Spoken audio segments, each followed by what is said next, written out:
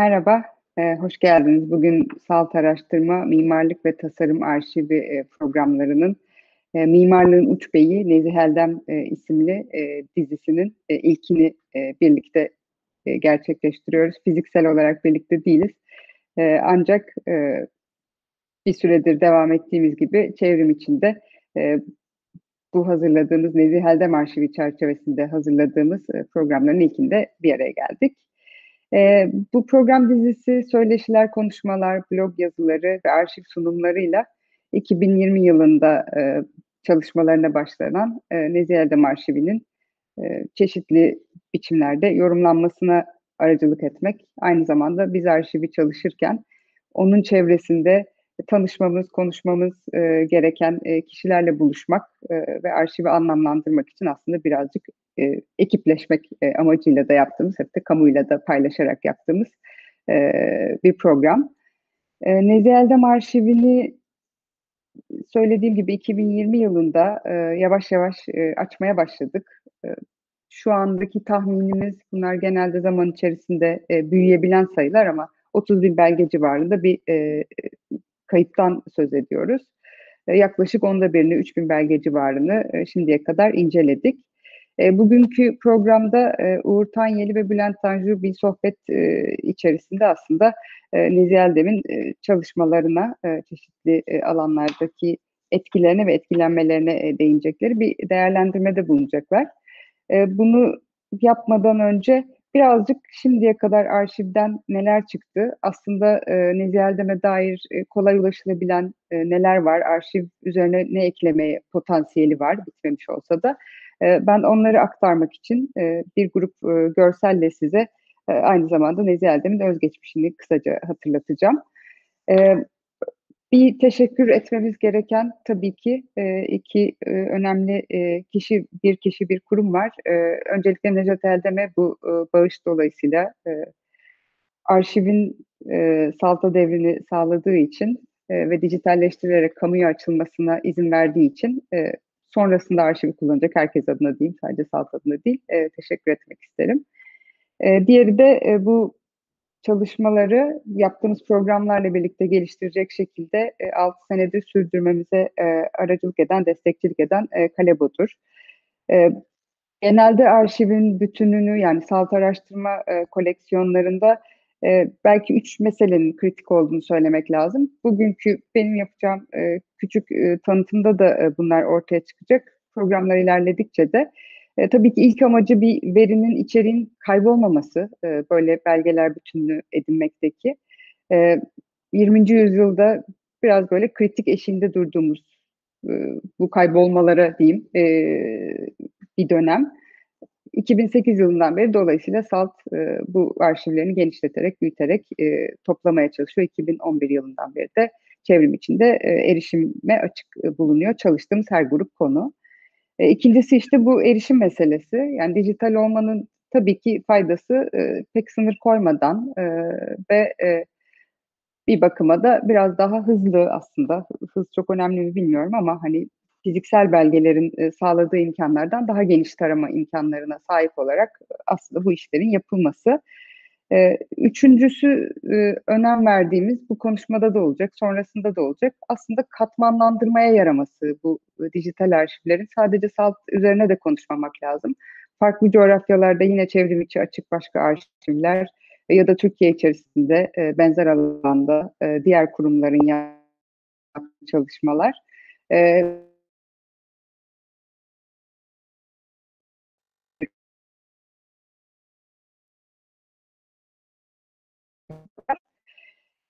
E, E, şimdiye kadar elimizdeki değerlendirirken e, bir e, tezden faydalandık. Onu belirtmek istiyorum. E, bütün bu söylediğimiz genelde arşivle ilgili konuştuklarımıza da e, değinir bir şekilde aslında içinde bu tez daha kapsamlı araştırmalar için bir başlangıç niteliğindedir yazıyor. Canan Osmanaoğlu e, İlmen'in e, 2007 yılında e, İTÜ Fen Bilimleri Enstitüsü'nde tamamladığı e, yüksek e, lisans tezi. Tasarımları ve eğitimciliği ışığında Nezih Eldem'in mimarlık anlayışı e, tezin adı. E, burada çok net söyleniyor aslında e, erişebildiği e, Osman Ağaoğlu'nun çeşitli e, kaynaklar var. E, ancak çok e, arşivlerdeki kısıtlar dolayısıyla e, İTÜ'de, askerimizde de çalışmalarda pek çok e, açıkta kalmış e, nokta var. E, Sibel Eldem ve Necdet Eldem'in o dönemki e, yardımlarıyla erişebildiği e, kişisel arşivde de tasdiflenmediği için erişemedikleri var. Ama bir literatür e, taraması yapıyor, özellikle süreli yayınlarda. E, bunun dışında da 11 kişiyle söyleşi gerçekleştiriyor. Nezih Eldem'in çeşitli vesilelerle e, kendi projelerinden söz ettiği bütün yayınları bir araya getiriyor. Burada da hem çalışmalarına yani mimari çalışmalarına hem eğitimciliğine yer veriyor. Bugün konuştuğumuz bazı projelerin aslında bilgileri de buradan derlendi. Ben şimdi bir grup belge göstereceğim. Dediğim gibi bunlar e, elde neler çıkacak e, bu şey açıldığında tamamıyla ona bir ipucu e, vermesi için. E, birinci slayttayım. Devam ediyorum. Bunu da teknik olarak bir e, şey olmasın diye, aksaklık olmasın diye söylüyorum. 1921 yılında İstanbul Eyüp'te doğdu Nezih Eldem. Uşak ve Denizli'de geçen ilkokul yıllarının ardından ortaokulu Vefa Erkek Lisesi'nde tamamladı. Burada gördüğünüz Erdem'in Vefa Erkek e, Lisesi'ndeyken e, kullandığı bir defter yani elimizdeki arşiv belgeleri içerisinde ilk açılan e, gruptan çıkan örneklerden. E, 14 yaşındayken üyesi olduğu Güzel Sanatlar Birliği'nin 1935 ile 1946 arasında düzenlenen bütün sergilerinde resimleriyle yer aldı ve Şevket Dağ, İbrahim Çallı, Sami Yetik gibi ressamlarla yakın ilişkiler kurdu. Ee, Eldem'in arşivinden burada gördüğünüz e, otoportresi 1983 e, e, tarihli. Arkasında 52 tarihli Milano'da bir çizimi, Bergama'da 50'lerden yine bir çizimini görüyorsunuz. Böyle çok el çizimi çıkıyor, çıkacak tahminen. E, bu bir dizi göstereceğim. E, Necdet Erdem'in evinde e, çek, fotoğraflarını çektiğimiz aslında e, arşive dahil olmayacak olan e, yani çok farklı e, demin belirttiğim şekilde çok e, küçük yaşlardan itibaren e, farklı biçimlerde üretimini sürdürüyor. E, bu seramik çalışmalarının e, en azından yine bu iç içe geçen toplar ve bu parfüm e, seti e, Milano'da yaptığını bildiğimiz çalışmalar. Bunu da çok yakın zamanda e, bu arşiv vesilesiyle e, Hantum Ertekin'le konuşurken e, Zehra Uçar tarafından iletilen, daha ileri yıllarda yine İtalya'dayken e, mobilyayla da uğraştığını biliyoruz. E, şu anda Necati Giray evinde bulunan e, iki örnek mevcut olduğunu bildiğimiz yani tespit ettiğimiz. 1939'da e, Kabataş Erkek Lisesi'nden mezun olan Erdem, Devlet Güzel Sanatlar Akademisi'nde mimarlık eğitimine başladı ve öğrenimi boyunca Sedat Akgeldem'in çalışmalarına katıldı. Ee, ben Kabataş Lisesi'nden yine çıkan e, birkaç e, bir defterin aslında birkaç sayfasını gösterebileceğim. Ee, öğrencilik dönemiyle ilgili şu anda elimizde e, bir yani mimarlık eğitimi döneminden bir belge grubu yok. 1944'teki ee, mezuniyetin ardından Emin Onat'ın yeniden yapılandırdığı Yüksek Mühendis Mektebi'nin mimarlık şubesinde röleve ve serbest resim derslerini vermek üzere öğretmen oldu. Yüksek Mühendis Mektebi'nin İstanbul Teknik Üniversitesi'ne dönüştürülmesinden sonra 1946'da bina bilgisi 3 kürsüsünde eğitim veren Paul Bonat'ın asistanlığını üstlendi. E, burada gördüğümüz aslında e, bu döneme denk geldiği için e, gösteriyorum. Karaköy'de bir büro binası. Bu bir proje yarışması 1947 yılında gerçekleştirilmiş. Arkitek dergisinde bilgilerine ulaşılabiliyor. Ve burada aslında birinciliği alan Nezih Eldem'in olduğu, ikinci olan Orhan Safa ve Kemal Ahmet Arnavut projesinin uygulandığı belirtiliyor sonrasında. E, bunu yine Osman Ağoğlu tezinde de e, okuyabilirsiniz. Bu tezde e, dergiler, yarışmalar tarandığı için yer alan e, projelerden biri. 1948'de idare ve ticari büro başlıkları baş, e, büro binaları başlıklı teziyle yeterlilik unvanına hak kazandı. Akademide öğrenciyken Anıtkabir proje yarışmasına katılan Ruknettin Güney'e perspektif çizimleri yaptı. Emin Onat'tan İtalya'da üretilen Anıtkabir mozaikleriyle ilgili çalışma teklifi alınca 1952'de Milano'ya gitti iki yıl boyunca Bonatz'ın hazırladığı araştırma programı doğrultusunda Domus dergisinin kurucusu mimar ve endüstriyel tasarımcı Joe Conti'nin Politecnico di Milano'daki derslerini takip etti ve bürosunda çalıştı. E, burada e, yine açılan ilk e, grupta e, Anıtkabir ile ilgili çok belge var. E, Anıtkabir'de aslında söylenen bu Rüknettin Güney'e ilk yardımcılık 1941 yılında e, başladığı anlamına geliyor Nezih Erdem'in Anıtkabir'le ilişkisinin.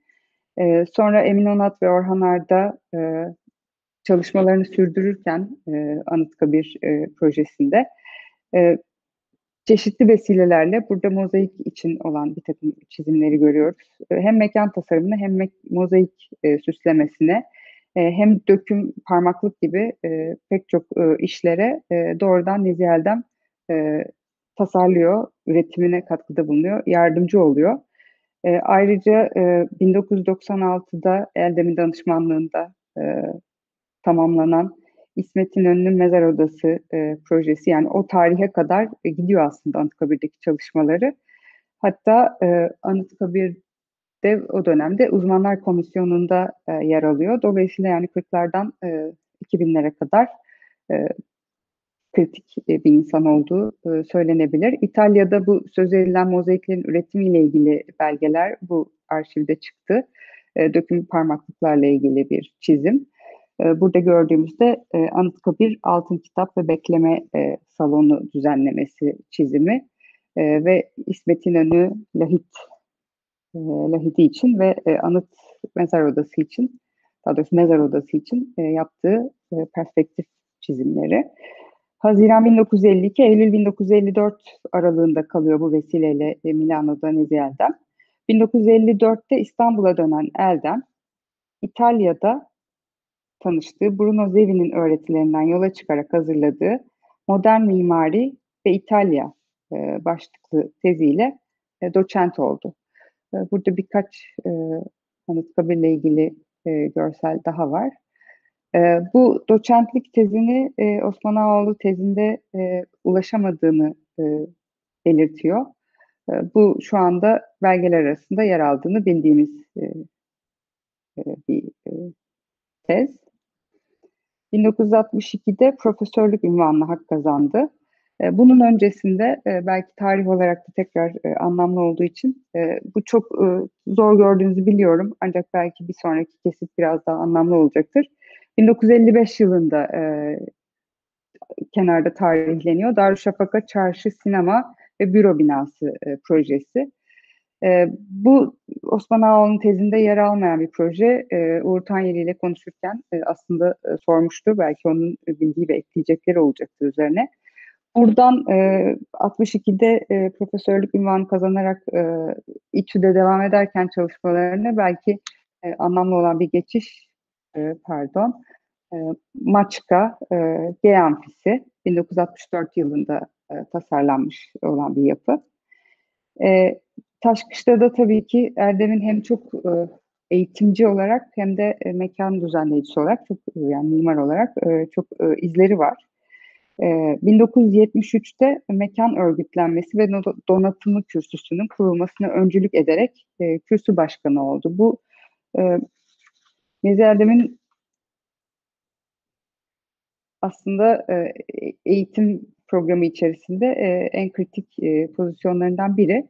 E, o dersle ilgili bir takım slaytları görmeden önce 1970'li yıllarda bunların olduğu zamanda e, Teknik Üniversitede e, burada bir şeyde bir eskizde 1970 çok net olarak gözüküyor ancak Osman Ağoğlu yine e, İTÜ kayıtlarında da çok kesin tarihini 1900, şey, 109'un e, yazılı göremediğini söylüyor.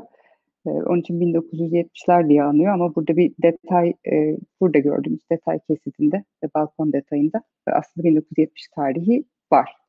109'un yanı sıra başka uygulamaları da var. E, bunlar bizim dediğim gibi e, ilk elimize attığımız e, arşivlerden çıkan e, çizimler.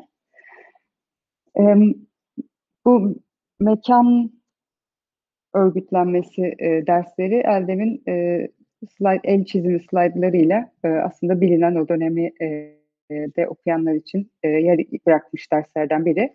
E, bu başladığımız program kapsamında E, Argun Dündar ve Melih Kamil'in hazırladığı, Kamil'in hazırladığı e, dönem asistanları 6 Kasım 1984 dersinden e, bir e, video projeksiyon var. E, Nezihe sesinden dersin anlatıldığı. 2019'da Mimarlar Odası'nda e, bir sempozyumda e, ilk gösterildi. Şu anda Salt Galata'da e, 20 Aralık'a kadar e, merak edenler e, gidip bu dersi 34 dakikalık bir e, video halinde e, izleyebilirler. E, aynı yıllarda yani 1973'te bu kürsü kurulduğu zaman da e, bir genç İtalyan e, mimarisi e, sergisi düzenliyor e, burada sergi dahilinde yapılan konferansta Eldem'in yanı sıra Şevki Vanlı'nın, Doğan Kuba'nın ama aynı zamanda Giancarlo De Carlo'nun, Pino Parente'nin geldiğini ve konuştuğunu görüyoruz. Devam ediyorum özgeçmişine. E, 1988'de emekli olduktan sonra İTÜ'de proje atölyesi yürütücülüğüne ve mimari üretimlerine devam etti. E, demin örneklerini gördüğümüz konularla birlikte. E, kuruluşundan itibaren Mimarlar Odası Yönetim Kurulu üyeliği yapan ve 1980'li yılların ortalarına kadar UNESCO uzmanı sıfatıyla koruma ve pilot proje çalışmaları yürüten Eldem, 1998'de Mimarlar Odası tarafından Sinan Ödülü'ne layık görüldü. E, bu bölgesel e, koruma çalışmaları e, ayrı bir yer tutuyor aslında e, Eldem çalışmaları arasında. Sultanahmet'te 77-79 tarihlerinde bir çalışma var. Süleymaniye ve Zeyrek'te de 80-84 e, koruma pilot bölge çalışmaları.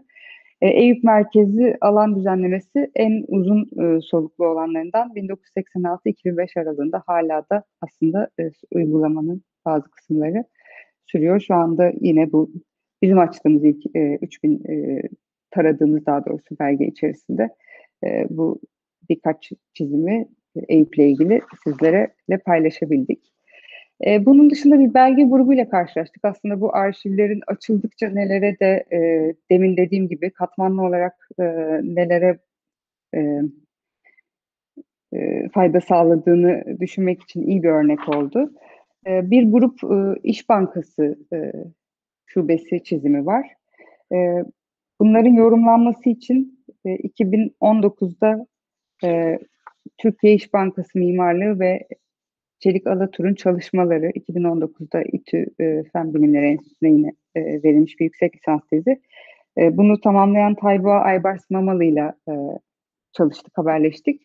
E, bir e, blog yazısı olarak yakın zamanda SALT'ta incelenebilecek. Onun için çok da detaylandırmayacağım ben bunu ama ilk e, karşımıza çıkan bu gördüğünüz proje 1943 e, yılından Arif Hikmet Holtay'ın bir projesi. Bu proje bu dönemde İş Bankası Arif Hikmet Oltay ile çalışıyor. 52 sonrasında da e, Mamalı'nın e, zaten daha önce tespit ettiği Eldem e, buna dahil değil onun e, tezi içerisinde. Çünkü ismi gördüğünde e, şüpheli tarihler var ve emin olamıyor tarihte. E, Halit Femir, Feridun Akozan, e, Muhlis Türkmen, Muhteşem Giray e, ve Nezi Eldem bildiklerimiz e, gibi genç mimarlarla çalışmaya başlıyorlar. E, arşivde gözüken projelerden biri Kadıköy Şube Binası. Bu bir mimari proje e, yarışması. 1951'de Nezihel'den e, katılmış. E, Aydın Şubesi e, 1952 yılında e, yapılmış. E, Aksaray Şubesi e, apartman ve daireleri, e, pardon apartmanları aynı zamanda e, 1955 e, ve Balıkesir Şubesi 1957 hatta Balıkesir Şubesi ile ilgili bir e, yazışma da çıktı. E, bu da Mine Mamal'ın anlatımıyla İş Bankası'nın e, o dönemki eğilimleriyle birlikte e, yani proje yapmadaki eğilimleriyle birlikte e, yorumlanabiliyor. E, bu arşivin çalışmaları dediğim gibi birkaç yıla yayılarak sürecek. Başka içerikler de mutlaka çıkacak. E, şu anda da bu programın çeşitli biçimlerini düşünerek kurgulayan, hazırlayan ekipte Tuğçe Kaplan, Emre Yurdakul ve Emirhan Altuner. Onlara teşekkür ederiz. Bugün ilk değerlendirmeyi biraz Neziheldem üzerine e, ben görsellerden artık görselleri bitirdim böylelikle. E, ilk değerlendirmeyi e, dediğim gibi Uğur Tanyeli ve Bülent Tanju ile yapacağız. E, Uğur Tanyeli mimarlık kuramı e, ve 15 yüzyıldan bugüne uzanan dönemin e, Türkiye mimarlık tarihini çalışıyor. Yani eminim dinleyen herkes e, tanıyarak aslında zaten bizimle birlikte E, şu anda da İstinye Üniversitesi e, Güzel Sanatlar, Tasarım ve Mimarlık Fakültesi Dekanlığı ve öğretim üyesi e, görevini e, yürütüyor. E, Bülent Tanju mimarlık tarihi, tarih yazımı, modern mimarlık, kent tarihi alanlarında e, üretimde bulunuyor. Şu anda da e, Kadir Has Üniversitesi Fen Bilimleri Enstitüsü Mimarlık ve Kent Çalışmaları Yüksek Lisans Programı'nda ve e, MEF Üniversitesi Sanat Tasarım ve Mimarlık Fakültesi'nde e, yarı zamanlı eğitim veriyor. E, ben sözü onlara bırakacağım. E, bildiğiniz gibi e, YouTube üzerinde yorumların da bize soru iletebiliyorsunuz. Hani yüz yüze olmamanın en büyük kaybı aslında bu sohbeti e, karşılıklı yapamamak oluyor. E, sizden rica ediyoruz konuşma süresince e, yani ikiye bölmeyeceğiz. E, sorularınız oldukça iletmenizi e, ben de e, Uğur Bey'le e, Bülent'e ileteceğim ve e, yeri geldikçe oturdukça cevaplayacaklar. Çok teşekkürler katılımınız için. E, Uğur Bey'le Bülent'e de teşekkürler. Cumartesi öğlelerini bize ayırdıkları için. Ben çekildim.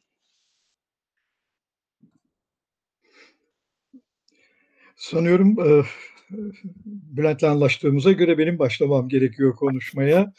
Dolayısıyla kısa bir giriş yapmaya çalışayım. Önce şunu çok öznel e, bir meseleden bahsedeyim. E, ben Nezih Bey'in öğrencisi olmadım. Nezih Bey'le tanışmam epey geç tarihli. Dolayısıyla da hani ona ilişkin anılarımı anlatabilme şansım yok dersem yanlış bir şey olmayacaktır. Üstelik de çok geç tanıştım Nezih Bey'le. O, ne, şöyle söyleyeyim, Nezih Bey'in adını biliyordum. Bilmemin nedeni de Eski Şark Müzesi'ni yapmış oluşuydu. E, 1982 yılında İTÜ Mimarlık Fakültesi'nde araştırma görevlisi olduğum zaman doğrudan doğruya Nezih Bey'le karşılaşma imkanı oldu o dönemde Nezih Bey sürekli biçimde Doğan Bey'le bir biçimde çeşitli tasarımsal meselelerde ve METERE denilen o zamanki Mimarlık Tarihi ve Restorasyon Enstitüsü ile bağlantılı olarak ilişkili olduğu için neredeyse e, restorasyon ve mimarlık tarihi kürsüsünden çıkmazdı. Benim tanışıklığımda dolayısıyla neredeyse yetişkin yaşımda onun da neredeyse 60'larının üstünde neredeyse emekli olmak üzere olduğu bir zamanda gerçekleşti böyle bir durum e, kendisi hakkında muhtemelen Türkiye'de yazılmış ilk metni de ben yazmış olmalıyım 91 yılında diye hatırlıyorum. E, o sırada üstelik komik bir biçimde ben Amerika'daydım e, Ardamento ile bağlantılı olarak ne diyelim bir biçimde ya da Ardamento ile de bağlantılıydım diyelim dergi olarak. Bu çerçevede her ay o zamanlar profil adı altında bir mimarın tanıtımı, değerlendirmesini yapmak gibi bir icat gündeme gelmişti. Ve ben o zaman Nezih Eldem'i profil yapalım dedim ama bunu yaparken de itiraf ediyorum. Bugün eşimle konuşmuştum çünkü eşim öğrencisi olmuştu. Hatta o bana önerdi ya niye Nezih Bey'i yapmıyorsunuz?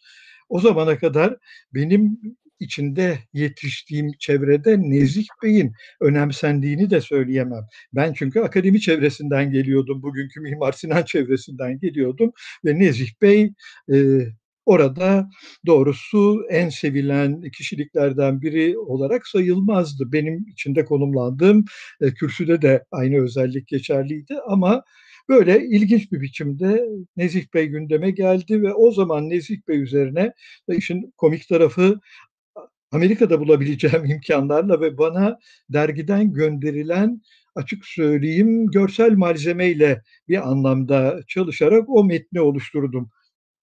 Dolayısıyla o büyük ölçüde e, kaynaklara ya da özgün malzemeye dayanıyor dersem yalan olur. Ama başlangıç böyle bir şey oldu ve sanıyorum ki epey de kapsamlı bir makaleydi o o zamanın koşullarında. Atilla Yücel de dergideki o profil dosyasının içine katkıda bulunmuştu. Böylece Nezih Bey'le bir ilişki gündeme geldi. Bülent'in de bundan çok farklı olmadığını tahmin ediyorum bağlantısının. O da öğrencisi olmadı. Dolayısıyla bizim şöyle bir avantajımız var. Nezih Bey'e mesafelenebilme şansımız var. Bu öğrencisi olmak e, Türkiye'de hem avantajdır hem dezavantajdır. Dezavantajdır çünkü e, Türkiye hala e, geleneksel ilişkilerin anlam taşıdığı, insanların hocalarına sadece hoca olmaktan dolayı bile özel bir prim verdiği bir ülkedir. Dolayısıyla da Nezih Bey'e söz gelimi öğrencisi olarak aynı derecede mesafelenmek mümkün olmayabilirdi o zamanlar. Ama dediğim gibi böyle bir imkan bizim için tesadüfen doğdu dersem yanlış bir şey söylemiş olmayacağım. Nezih Bey hakkında söyleyebileceğim başlangıçta hemen her şeyi şimdiden ben söylemeye başlamayayım. Sadece çok dikkatimi çeken bir meseleyi vurgulamak istiyorum. O mesele de şu. Nezih Bey e, üçün bana birkaç gün önce anlatılan bir anekdodu bugün aktarmak istiyorum. Güzin Kaya Teknik Üniversitesi'nin 1950'lerin sonu 60'ların başındaki öğrencilerinden biridir. E, şehircilik profesörü. E, onunla konuşurken şöyle bir şey anlattı bana. Nezih Bey'e dedi 1960'ların başında ziyarete gittim. O sırada bir burs almıştım Paris'te doktora yapacaktım ve Nezih Bey'e dedim ki hocam ben Paris'e doktora yapmaya gidiyorum. Böyle bir imkan buldum. Nezih Bey'in tepkisi şöyle oldu. Doktora yapıp da ne yapacaksın? Mimara doktora ne gerek dedi. Tam tersine sen İtalya'ya git, İtalya'yı dolaş, etrafta gez, ondan sonra da Türkiye'ye dön gel. Doktoranın ne işi var? Şimdi bu bugün insana hem komik gelebilir hem de entelektüel anlamda aşağılayıcı bir anlatım gibi de gözükebilir ama ben tam tersine bunu olumlayıcı bir şey olarak söylemek istiyorum. Nezih Bey'i de çok iyi anlatan bir şey. Hem Nezih Bey'i anlatıyor hem de Nezih Bey'in ait olduğu dönemi anlatıyor. Bu dönemin ucuna Bülent değilse bile ben bile yetiştim. Bu şuydu, mimarlar öncelikle kuramsal etkinlikte bulunmazlar mimarların işi tasarlamaktır. Dolayısıyla da kalkıp da doktora yapılarak burada varılabilecek bir sonuç yok. E, öğretim üyelerinin de böyle olduğu bir dönemden bahsediyorum. E, şöyle söyleyeyim, e, benim öğretim üyelerimden sadece bir tek kişinin benim lisans eğitimi gördüğüm dönemde doktorası olduğunu hatırlıyorum. Geri kalan herkes doktorasızdı. O zaman da gayet olağan bir durumdu bu. Teknik Üniversitede de böyleydi, e, Mimar Sinan'da da böyleydi. E, ama e, şöyle bir de inancın olduğunu hemen söyleyebilirim. E, entelektüel kimliğin e, metinler üzerinden kurulmasına alışık bir dünyada değildik. Bu büyük ölçüde dünyada da böyleydi ama Türkiye'de daha da fazla böyleydi diye hatırlıyorum 1960'lı yıllarda, hele 50'li yıllarda, hele 40'lı yıllarda çok belirgin bir biçimde. Nezih Bey de böyleydi. Dolayısıyla teorik olanı aşağılarmış gibi ya da gereksiz bir malumat furuşlukmuş gibi nitelendirmesini çok anlamlı dolayısıyla buluyorum. Hem dönemi anlamında anlamlı buluyorum hem de kendi pozisyonu hiçbir zaman böyle bir e, üzerinde düşünmediği bir şey üzerine kuramsal etkinlikte bulunmaya ilişkin bir çabayla karakterize olmazdı. Bu bana her zaman çok doğrusu anlamlı gelmiştir. Buna karşılık e, sürekli bir pozisyon alabilme bağlamında, itiraz edebilme bağlamında, yorumlayabilme bağlamında e, neredeyse uslanmaz bir e, yaramazlıkla karakterize olduğunu düşünmüşümdür. Söz gelimi hangi toplantı yapılsa, toplantıda hangi konu anlatılırsa anlatılsın, Nezih Bey'in mutlaka toplantının sonunda kalkıp söyleyecek, uzun denebilecek yorumları olurdu ve genellikle de bunlar epey eleştirel yorumlardı, ortama yönelik eleştirel yorumlardı. Dolayısıyla bu özellikle vurguladığım bir şey entelektüel ilgisi yoktu dediğim zaman haksızlık ettiğimi vurgulamaya çalışıyorum. Entelektüel ilgisi bugünkü Türkiye'deki gibi bir tür sahte akademizmle tanımlı değildi. Türkiye'de gittikçe tırmanan bir biçimde bunu söylemeden geçemeyeceğim. Sahte bir akademizm oluştu. Ne demek o? Mimarsanız mutlaka doktora yaparsınız. Şimdi bu Türkiye'ye özgü bir problemden bahsediyoruz. Dünyanın bütün önemli mimarlık okullarında bazıları yöneticilik yapan ve doktorası olmayan hatta akademik sistemin içindeki aşamalardan geçmemiş önemli kişiliklerin olduğunu biliyorum. Ama Türkiye'de bu bugün mümkün değil. Şimdi bu dolayısıyla Nezih Bey gibi kişileri bir kere daha bu bağlamda da gündeme taşımanın önemine işaret etmek istiyorum. Çünkü demin de söylediğim gibi e, Türkiye e, bu güzergahı neredeyse unuttu. bütün mimarlık okullarının neredeyse e, YÖK'ün tanımladığı, yasada tanımlanmış belli birkaç akademik aşamaya sıkıştırıldığı bir sistemin içindeyiz. Ama Nezih Beylerin kuşağı bir kere bunun içinde değildi. Ama sorun sadece döneme ilişkin bir mesele değil. Bugünü tartışmak için de gerçekten bunun çok anlamlı olduğuna inanıyorum. Gerçekten bu pozisyon bence Nezih Bey özelinde olmamak koşuluyla hatırlanması gereken bir pozisyon. Nezih Bey bunun bence en iyi örneklerinden biriydi. Dolayısıyla özellikle bunu vurgulayarak ne diyelim e, şimdilik söyleyeceklerimi bu kadarla sınırlı tutuyorum. E, Bülent'in bu konuda ne söyleyeceğini de merak ediyorum. E, tamam o zaman şöyle bir yerden ben de devreye gireyim. E, herkese tekrar e, merhaba. E, bu pozisyona ya da genel olarak pozisyonuna ilişkin birkaç bir şey söyleyerek başlayayım ama ge- ge- geri alayım. Ee, Uğur Bey'le aramızda aşağı yukarı bir kuşak var. Herhalde böyle tarif edilebilir. Dolayısıyla ben öğrencisi olmadığım gibi Uğur Bey kadar da yakından tanıyamadım aslında. Yani be- be- benim Nezih Eldem'le tek karşılaşmam 1997 yılında.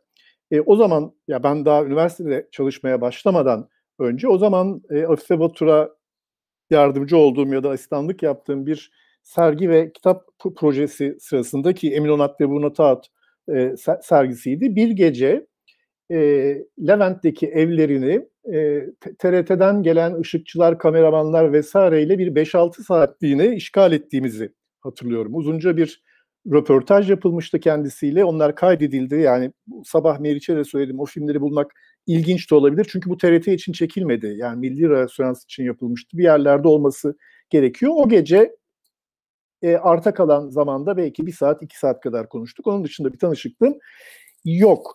E, şöyle bir yerden e, de, de, devam edeyim. Hatta tanışıklığım yok derken e, bu gene e, Güzin Hanım'ın doktorası üzerinden konuşmaya başladığımız meseleye de ekleneceğini düşündüğüm bir şey var. Dolayısıyla yeniden e, SALT'taki arşiv e, vesilesiyle gündeme geldiğinde Evet yani bazı yapıları biliyordum vesaire fakat biraz daha düşünmeye başladım. İsterseniz bu düşünmeye başlamak diyelim el yordamıyla. Bu el yordamıyla diyebilmek için bunu aslında uzattım. E, çünkü bir başlangıç ama işte ne, ne, Nezih Bey'in e, po, pozisyonuna oradan geri döneceğim. E, Uğur Bey akademi çevresinde çok e, se, sevilmezdi dedi ve pozisyonu ama vardı. Bütün bu entelektüel kimlik yokmuş gibi görünmesine rağmen bu da yokmuş gibi de altını çizeyim. Çünkü buraya e, ge, ge, geri döneceğim ama bu, buradan başlamak ilginç. E, Nezih, Nezih Bey ile ilgilenmeye başlamadan önce yine Salt'ta Serhat Hakkı sergileri sırasında ve onun arşivini çalışırken e, farkına vardığımız bir belge vardı. E, Adliye Sarayı'nın ikinci aşaması yani Serhat Hakkı yarışmayı kazanıp bir kısmı yapıldıktan sonra ve yarım kalan bir binayı kazı sırasında bulunan tarihi eserlerden vesaire vesaire vesaire aradan geçen süre zarfında binayı revize ederek ve sarayın da büyütülmesi ihtiyacı duyulduğu için Adliye Sarayı'nın 70'lerde çeşitli girişimleri var. Serhat Hakkı Aldem'in e, Adliye Sarayı'nı tamamlamak istiyor. E, bu girişime e, Teknik Üniversite Mimarlık Tarihi ve Restitüsyon Enstitüsü'nün e, yazdığı bir cevap var. E, hala Salt arşivinde duruyor bu. Nezih Eldem imzalı. O sırada Doğan Kuban aslında başkanıymış ama Doğan Kuban Amerika'da ikinci başkan olarak ve başkan vekili olarak Nezih Eldem imza atıyor. Aslında e, ta- tamamı ilginç e, ama son cümlesini size okumak istiyorum. Bu sabah buraya not aldım. Bu aslında hem pozisyonuna ya da nasıl pozisyon sahibi olduğuna ya da pozisyon sahibi olmaktan ne kadar korkmadığına e, hem de işte akademiyle ve dolayısıyla Serhat Hakkı ile ilişkisine ilişkinde aslında epey bir ipucu veriyor. Şöyle son cümlesi, e, büyüme hızının sonucu olan plansız ve düzenlenmenin oldu bitlerinden daha büyük, daha e, yaygın, onarılması daha zor olumsuz etkileri hatalı yerleşme kararlarının yarattığını önemli hatırlatmak ve ilgilileri uyarmak isteriz. E, bu ısrarla gelen e, talebe yani adliye sarayını tamamlamak ve inşa etmek talebine şaşkınlıklarını zaten dile getiriyorlar ama bir kere daha yani bu benim için çok çarpıcı. Yani oldu bittiğinin ve kendiliğinden gelişen şeyin ötesinde kararların ne kadar problemli olduğu. Şimdi böyle bir pozisyona, böyle bir kavrayışa e, sahip bir mimardan e, söz ediyoruz. Bu bu pozisyon eğer yoktuysa ki bizim bugün anladığımız akademik anlamda yazmak, doktora yapmak ya da bu iddialar bağlamında bir entelektüel pozisyon olmayabilir ama bu gerçekten bir entelektüel pozisyon değil mi? Entelektüel pozisyon. Üstelik giderek daha fazla da mimarlık bağlamında unutmaya başladığımız bir entelektüel pozisyon. Çünkü düşünmek dediğimiz şey ya da bir pozisyon herhangi bir konuda bir değer yargısı, bir fikir, bir pozisyon üretmek için yapılması gereken tek şey okumak ya da yazmak ya da yazarak yapılan bir iş değil. Aslında bütün pratiklerin çizmek, tasarlamak, resim yapmak, bir yerde resimle, kendi resim geçmişiyle ilgili söylediği bir şey var. O da gerçekten çok ilginç ama bütün pratiklerin bu anlamda bir bilinç, fikir, pozisyon üretebileceğini bir kere akılda tutmakta yarar var. Dolayısıyla biraz önce sizin söylediğiniz şey Uğur Bey, en azından mimarlık bağlamında mimarlık akademiyasını aslında pratiğin neredeyse asli mecrağı olan çizim üzerinden düşünülmesini azaltmak demek bir anlamda sizin söylediğiniz şey.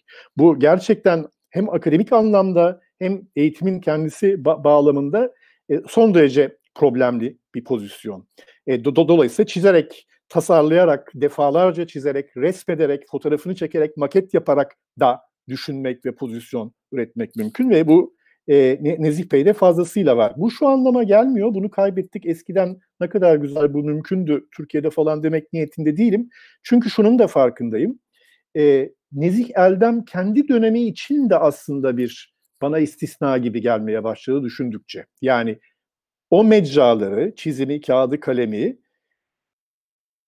doktor tezi yazmayan akademisyenler harikulade pozisyonlar inşa etmek için kullanmadılar çoğunlukla. Yani bunu söyleyecek noktada da değiliz. Dolayısıyla Nezih Eldem daha başlangıçta de, de, de, diyebileceğim bir şekilde e, önemli bir şahsiyet olarak, önemli bir özne olarak tebarüz ediyor, ortaya çıkıyor gibi e, geliyor. E, bu pozisyona ilişkin birkaç bir şey daha söyleyeyim. Belki size bırakabilirim ya da sizin şeyinize bağlı devam da edebilirim. Peki bu nasıl bir pozisyon vesaire diye düşünürken e, Meriç'in de bahsettiği arşivden çıkan e, do, doçentlik tezini bu geçtiğimiz üç gün içinde biraz da ge, geç kalmanın dersini yeterince vaktinde çalışmamış bir öğrenci paniğiyle üst üste okudum. Bülent, Efendim pardon. Bülent, pardon, e, doktora tezine geçmeden önce benim küçücük bir ekleyeceğim Lütfen, tabii bir şey ki, var. Tabii ki, tabii ki. Bu entelektüel pozisyon meselesi için entelektüel pozisyonun belirli zorunlu hareketleri yapmakla sınırlı Evet, olduğu bir olmaz, dünyaya evet. eleştirimin Çok olduğu tahmin edilebilir zaten. Benim burada özellikle senin söylediğine şunu ekleyebilirim. Nezih Bey bir tür mimarlık dünyasının vicdanı gibi çalışma alışkanlığındaydı. Hani her durumda, her toplantıda neredeyse kendisini ortaya atıp bazen sıkıcı olacak kadar uzun, bazılarının hatta böyle yarım saate 40 dakikaya varan korsan bildiriler olduğunu hatırlıyorum. Böyle bir vicdan olma rolüyle bağlantılıydı ki ben onu doğrusunu söyleyeyim her zaman çok önemsedim. Çünkü çoğu zaman bildirilerin ya da akademik tırnak içindeki anlatımların hiçbir şey söylemediği bir dünyada Nezih Bey'in daima bir karşıt pozisyonu vardı. Yani karşıt pozisyonun ne kadar önemli olduğunu özellikle vurgulamak istiyorum. Daha da önemlisi şöyle bir özelliğini sürekli gördüm.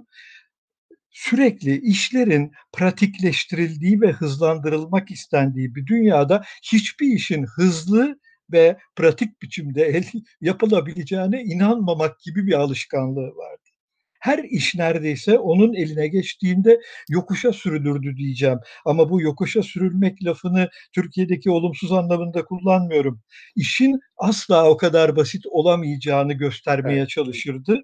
Ee, şöyle söyleyeyim, çok ender durumda göstermeyi başarabildi. Çünkü o kadar buna uygun olmayan bir e, kültürel atmosferde çalışıyordu ki bütün çabasına rağmen işlerin hep ondan hızlandırılması, pratikleştirilmesi, bir an önce çözülmesi, projenin bitirilmesi, anında uygulanması, hiç sorun çıkarmaması, yapılanın bozulmaması gibi ilginç diyebileceğim bir e, ilkel rasyonalite diyeceğim. Türkiye'de bugün de dahil olmak üzere egemendir. Nezih Bey bunun tam dışındaydı. Dolayısıyla bu taraftan çok önemsemek gerektiğine inanıyorum. İkincisi bunu daha sonra konuşuruz.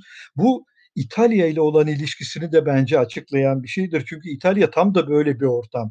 Neredeyse her mimarın polemikçi olduğu ama bazılarının teorisyen olduğu bir ülkeden bahsediyoruz. Her mimarın kendi pozisyonunu ısrarla savunduğu, zaman kavramını bilmediği, bunun belli bir biçimde yapılabilmesi için ortamı zorlamak için elinden geleni yaptığı bir ülkeden bahsediyoruz ki Türkiye böyle bir ülke değil. Ama Nezih Bey sanki İtalya için yapılmıştı ama Türkiye'ye atılmıştı diyeceğim. Biraz tuhaf bir ifade olacak ama Nezih Bey'i bence mükemmelen anlatan bir ifade diyeceğim. Dolayısıyla burada keseyim Bülent lütfen. Lafını kestim. Yo hayır estağfurullah. Tam tersine zaten böyle konuşuruz diye e, planlamıştık. Öyle devam edelim açıkçası. Aslında iyi de oldu çünkü e, benim ilk başta söylediğimlerimin arasında eklemek istediğim bir şey de unuttum. E, sizin bu vicdan meselesi 91'deki yazınızdan geliyor. E, ger- gerçekten bir pozisyona sahip olmak gerekiyor bir kere vicdan üretebilmek için bir konuda. Pozisyon yoksa pekala vicdan yok bile de, de, denebilir. Aynı me- me- metinde sözle açıklanamayan e, di, diyorsunuz. Hiç şüphesiz resmin, çizimin vesaire üzerine sayfalarca yazıp konuşabiliriz. Ama ben bunu şöyle okuyorum. E, bütün pratiklerin, o yüzden biraz önce öyle bir yerden başladım. Sadece yazarak, çizerek, e, o, o, okuyarak değil, çizerek, tasarlayarak, resmederek düşünebiliriz derken bütün pratiklerin Dolayısıyla o pratiklerin içinde gerçekleştiği mecraların başka mecralara ve pratiklere indirgenemeyecek getirileri ve bilgi üretme ihtimali var. E, do, do, o yüzden gerçekten sözle açıklanamaz. Yani üzerine konuşabiliriz fakat onun ortaya çıkması için o alana, o pratiğe, o mecraya ihtiyacımız var. Bu, bu bunu, bunu her şeyden önce bize e, ha, ha, hatırlatıyor. Şimdi bu, bu peki ortaya çıkan pozisyon ne menen bir pozisyon vesaire biraz bu, bu nereden düşünmeye başlanabilir bunun üzerine diye ben, ben alışkanlıkta her zaman yaptığım gibi dönüp dönüp dediğim gibi doçentlik tezine baktım. İlk e, o, o, o okumada vardığım yargı bunu size de söyledim. Hatta şimdi azıcık utanarak da söyleyeceğim ama ilk okumalar hep böyle. Yani biraz işte Budaya'nın hızlı e, okuması gibi. E, evet yani bu zaten e, mimarlığın dogması. Yeryüzündeki, dünyadaki bütün mimarlar ve mimarlık akademisyenleri kabaca modern mimarlık mitolojisi diyeyim artık buna. Kabaca böyle okunuyor. Yani dünyada aldığı tereddi var, gerileme var. İşte bir akıl, en çok kullandığı, severek kullandığı kelimeler aklı selim, salim, huzurlu, nizam arayışı vesaire vesaire. Hakikaten bu bildiğimiz şeyi anlatıyor ve kısacık bir metinde anlatıyor. Bunu İtalya üzerinden anlatıyor. Üzerinden hızlı hızlı geçtiği isimler, akımlar, dönemler vesaire var. Fakat e, ilk başta biraz e, safça diyeyim yani naif bir biçimde e, benim küçücük tecrübemden de hatırladığım kendi kibarlığıyla vesaire de onu ilişkilendirerek bu bunları anlatıyor ama e, üzerinden geçti işte o da tarihselciydi bunlar neoklasik oldular falan derken kimseye de böyle çok kötü şeyler de söylemiyor. Hatta geçerken herkesin biraz gönlünü alır gibi konuşuyor. İlk başta dediğim gibi bunu safça zaten çok belli ki kibar ve iyi ama yani bu, bu kadar da basit olamaz. Sonra fark ettim ki aslında e, evet o anlatıyı anlatıyor ama aslında biraz önce sizin söylediğiniz gibi burası karman çorman bir yer ya da e, başka bir yerde metinde ona ama geri dönmeyeyim bunu gösteren bir ifadesi de var. Aslında hiçbirinden tamamen de kopmuyor. Yani en reddettiklerinden bile aslında onlar da varlar ve duruyorlar. Pekala şu bilgisi işe yarayabilir. Bunu da böyle yapmışlardı falan diye konuşuyor. Bunun en çarpıcı ifadesi 20. yüzyıl başı e, rasyonalizmle ile klasizm arasındaki o ne, ne diyelim İtalyan dansı onların birbirinden ayrılamadığını ve bir arada olduklarını anlatırken e, çok güzel bir tanımlama yapıyor neoklasizm için 20. yüzyılın başındaki İtalya'da. Universal olduğu kadar İtalyan, muasır olduğu kadar tradisyonalist, şartlı bir modernizm diyor. Şimdi bu aslında çok ilginç bir okuma çünkü olağan hali dedim ya o, o, olan modern mimarlık mitolojisi olarak bakıldığında yani zaten tarihselciler çöp öbürleri falan ve şey yapılacak bir doğru var. Hayır yani ne, ne, Nezih Eldem o metinde de yaklaştığı her şey ne tam bir etiket altında toplanıp hemen harcanabiliyorlar. Hiçbiri bitmiyor aslında. Hepsinden bir şeyler geliyor. Hepsine bağlanıyor, itiraz ediyor ama başka bir şey söylüyor vesaire. Bu bana birazcık şeyi hatırlatıyor. Böyle de, devam ediyorum Uğur Bey ama ne olur siz e, kesersiniz e, beni. E, yine 91'de o Ardumento'nun dosya sayısı mı yoksa başka bir sayı mı onu çıkaramadım. Ben PDF'ler üzerinden okuyordum ama tarih bilinci ve çağdaş kişilik diye de küçük bir metni var. İki sayfalık bir metin. E, orada e, birlikte yaşamaktan söz ediyor. Şimdi bu şey yapmak niyetinde değilim. Hani farklı insanlar ve demokratik muhtemelen bunları da öyle anlatırdı yani ona hiç şüphem yok. Fakat eskiyle ve eski yapılarla etrafındaki nesnelerle yani fiziksel çevre insanların ürettiği şeyleri bizden öncekiler üretmiştir. Bunlar bizi etkiler ama biz de onları etkilemeye ve dönüştürmeye devam ederiz. Bu bir karmaşık ilişkidir diyor zaten. Yani şimdi bu bir yandan da yazmayan ve teoride kurmayan bir insan ve iki sayfalık metinde aslında bugün hala pek çok metinde karşılaşamayacağımız bir şey var ve genel bir e, birlikte yaşamadan söz ediyor. Bir, öyle bir birlikte yaşama ki dün e, kapımın önündeki kaldırıma konmuş eğreti bir bank da bunun parçası. Yani eskiyle ilişkisi idealize edilmiş, yüceltilmiş, tarihsel, gele... hayır her şey üretilmiş ve biz onlarla yaşıyoruz. Onlara ekleniyoruz, onları dönüştürüyoruz vesaire. Böyle bir şey var. Dolayısıyla o doçentlik tezindeki anlatı da böyle. Aslında onlarla konuşuyor. Biraz önce sizin İtalya ya isterseniz şöyle diyelim. O polemiğe o da katılıyor. Konuştukça çünkü bir şey yapıyoruz ve işte birazcık kavramaya çalışıyoruz. Hepimiz farklı bir veçesini e, gö- gösteriyoruz. Olan bitenin der gibi bir hali var. Şimdi bu bi, bi, birlikte yaşama me, me, meselesi bi, birinci önemli şeylerden biri. Şimdi a, aynı metinden aklıma gelen eğer siz gene araya girmeyecekseniz korkuyorum çünkü ben böyle hızla gidiyorum. Siz niye bir şey demiyorsunuz diyeceğim ama aynı metinden birkaç bir şey daha var. Birbirine eklemlenen. Bunlar sanki e, o, geri dönüp tekrar baktığımızda yapılarıyla ilgili konuşmamızı ya da e, onun tasarım anlayışını ya da mi, mimarlığı kavrayışımızı zenginleştirebilir gibi geliyor. Bir tanesi bu. Ayırt etmeden birlikte yaşama. Hiyerarşisi yok. Önceliklisi vesaire hiç şüphesiz var ama hepsi önemli ve bizim onlarla birlikte yaşamamız dar anlamıyla korumak, restore etmek değil, onları dönüştürüyoruz. Ama onlar olmazsa belli ki bir şey yapamayacağız gibi gözüküyor. Biri bu. İkincisi reçete meselesi. E böyle baktığınızda reçete olması mümkün değil. Yani olan mimarlık, e, modern mimarlık mitolojisi aslında bu reçetelerle de var. Ama o re- reçeteyle çözemeyeceğini sizin metninizde de söylediğiniz gibi neredeyse her yere ve her duruma özgü ama bu dar anlamıyla bir bağlamsalcılık da değil. Yani her yere ve her duruma özgü bütün mimarların yapması gereken bir şeyler değil. O Nezih Bey'in her durumda ve her yerde yapacağı bir şey. Onun her yer ve durumda kendi birlikte yaşamasını kurması gerekiyor. Dolayısıyla reçetesiz.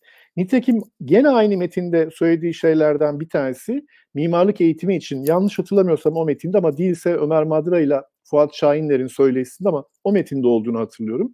Soru meselesi. Cevabı olmaz diyor mimarın. Dolayısıyla mimarlık eğitimi de cevap öğretmez diyor. Soru sormayı öğretir diyor. Çünkü o soruyu, o zaten o soruyu sormak her yer ve durumla o soruyu soran mimarın orayla ilişkilenmesi. Bu dediğim gibi hep bağlamsalcılık vesaire içinde okumaya, yorumlamaya alışkınız ya da bana öyle geliyor Nezih Bey'in etrafında konuşanlar. Bu dar bir bağlamsalcılıktan bir hayli farklı ipucu veriyor. Dördüncü şey bu iki sayfalık bir metin. E, işlevle ilişkisi. Ben işleve elverişlilik diyorum diyor. Şimdi bu basitçe işe yararlılık vesaire diye e, söz, söz, söz etmek bundan mümkün değil. Elverişlilik harikulade bir kavram.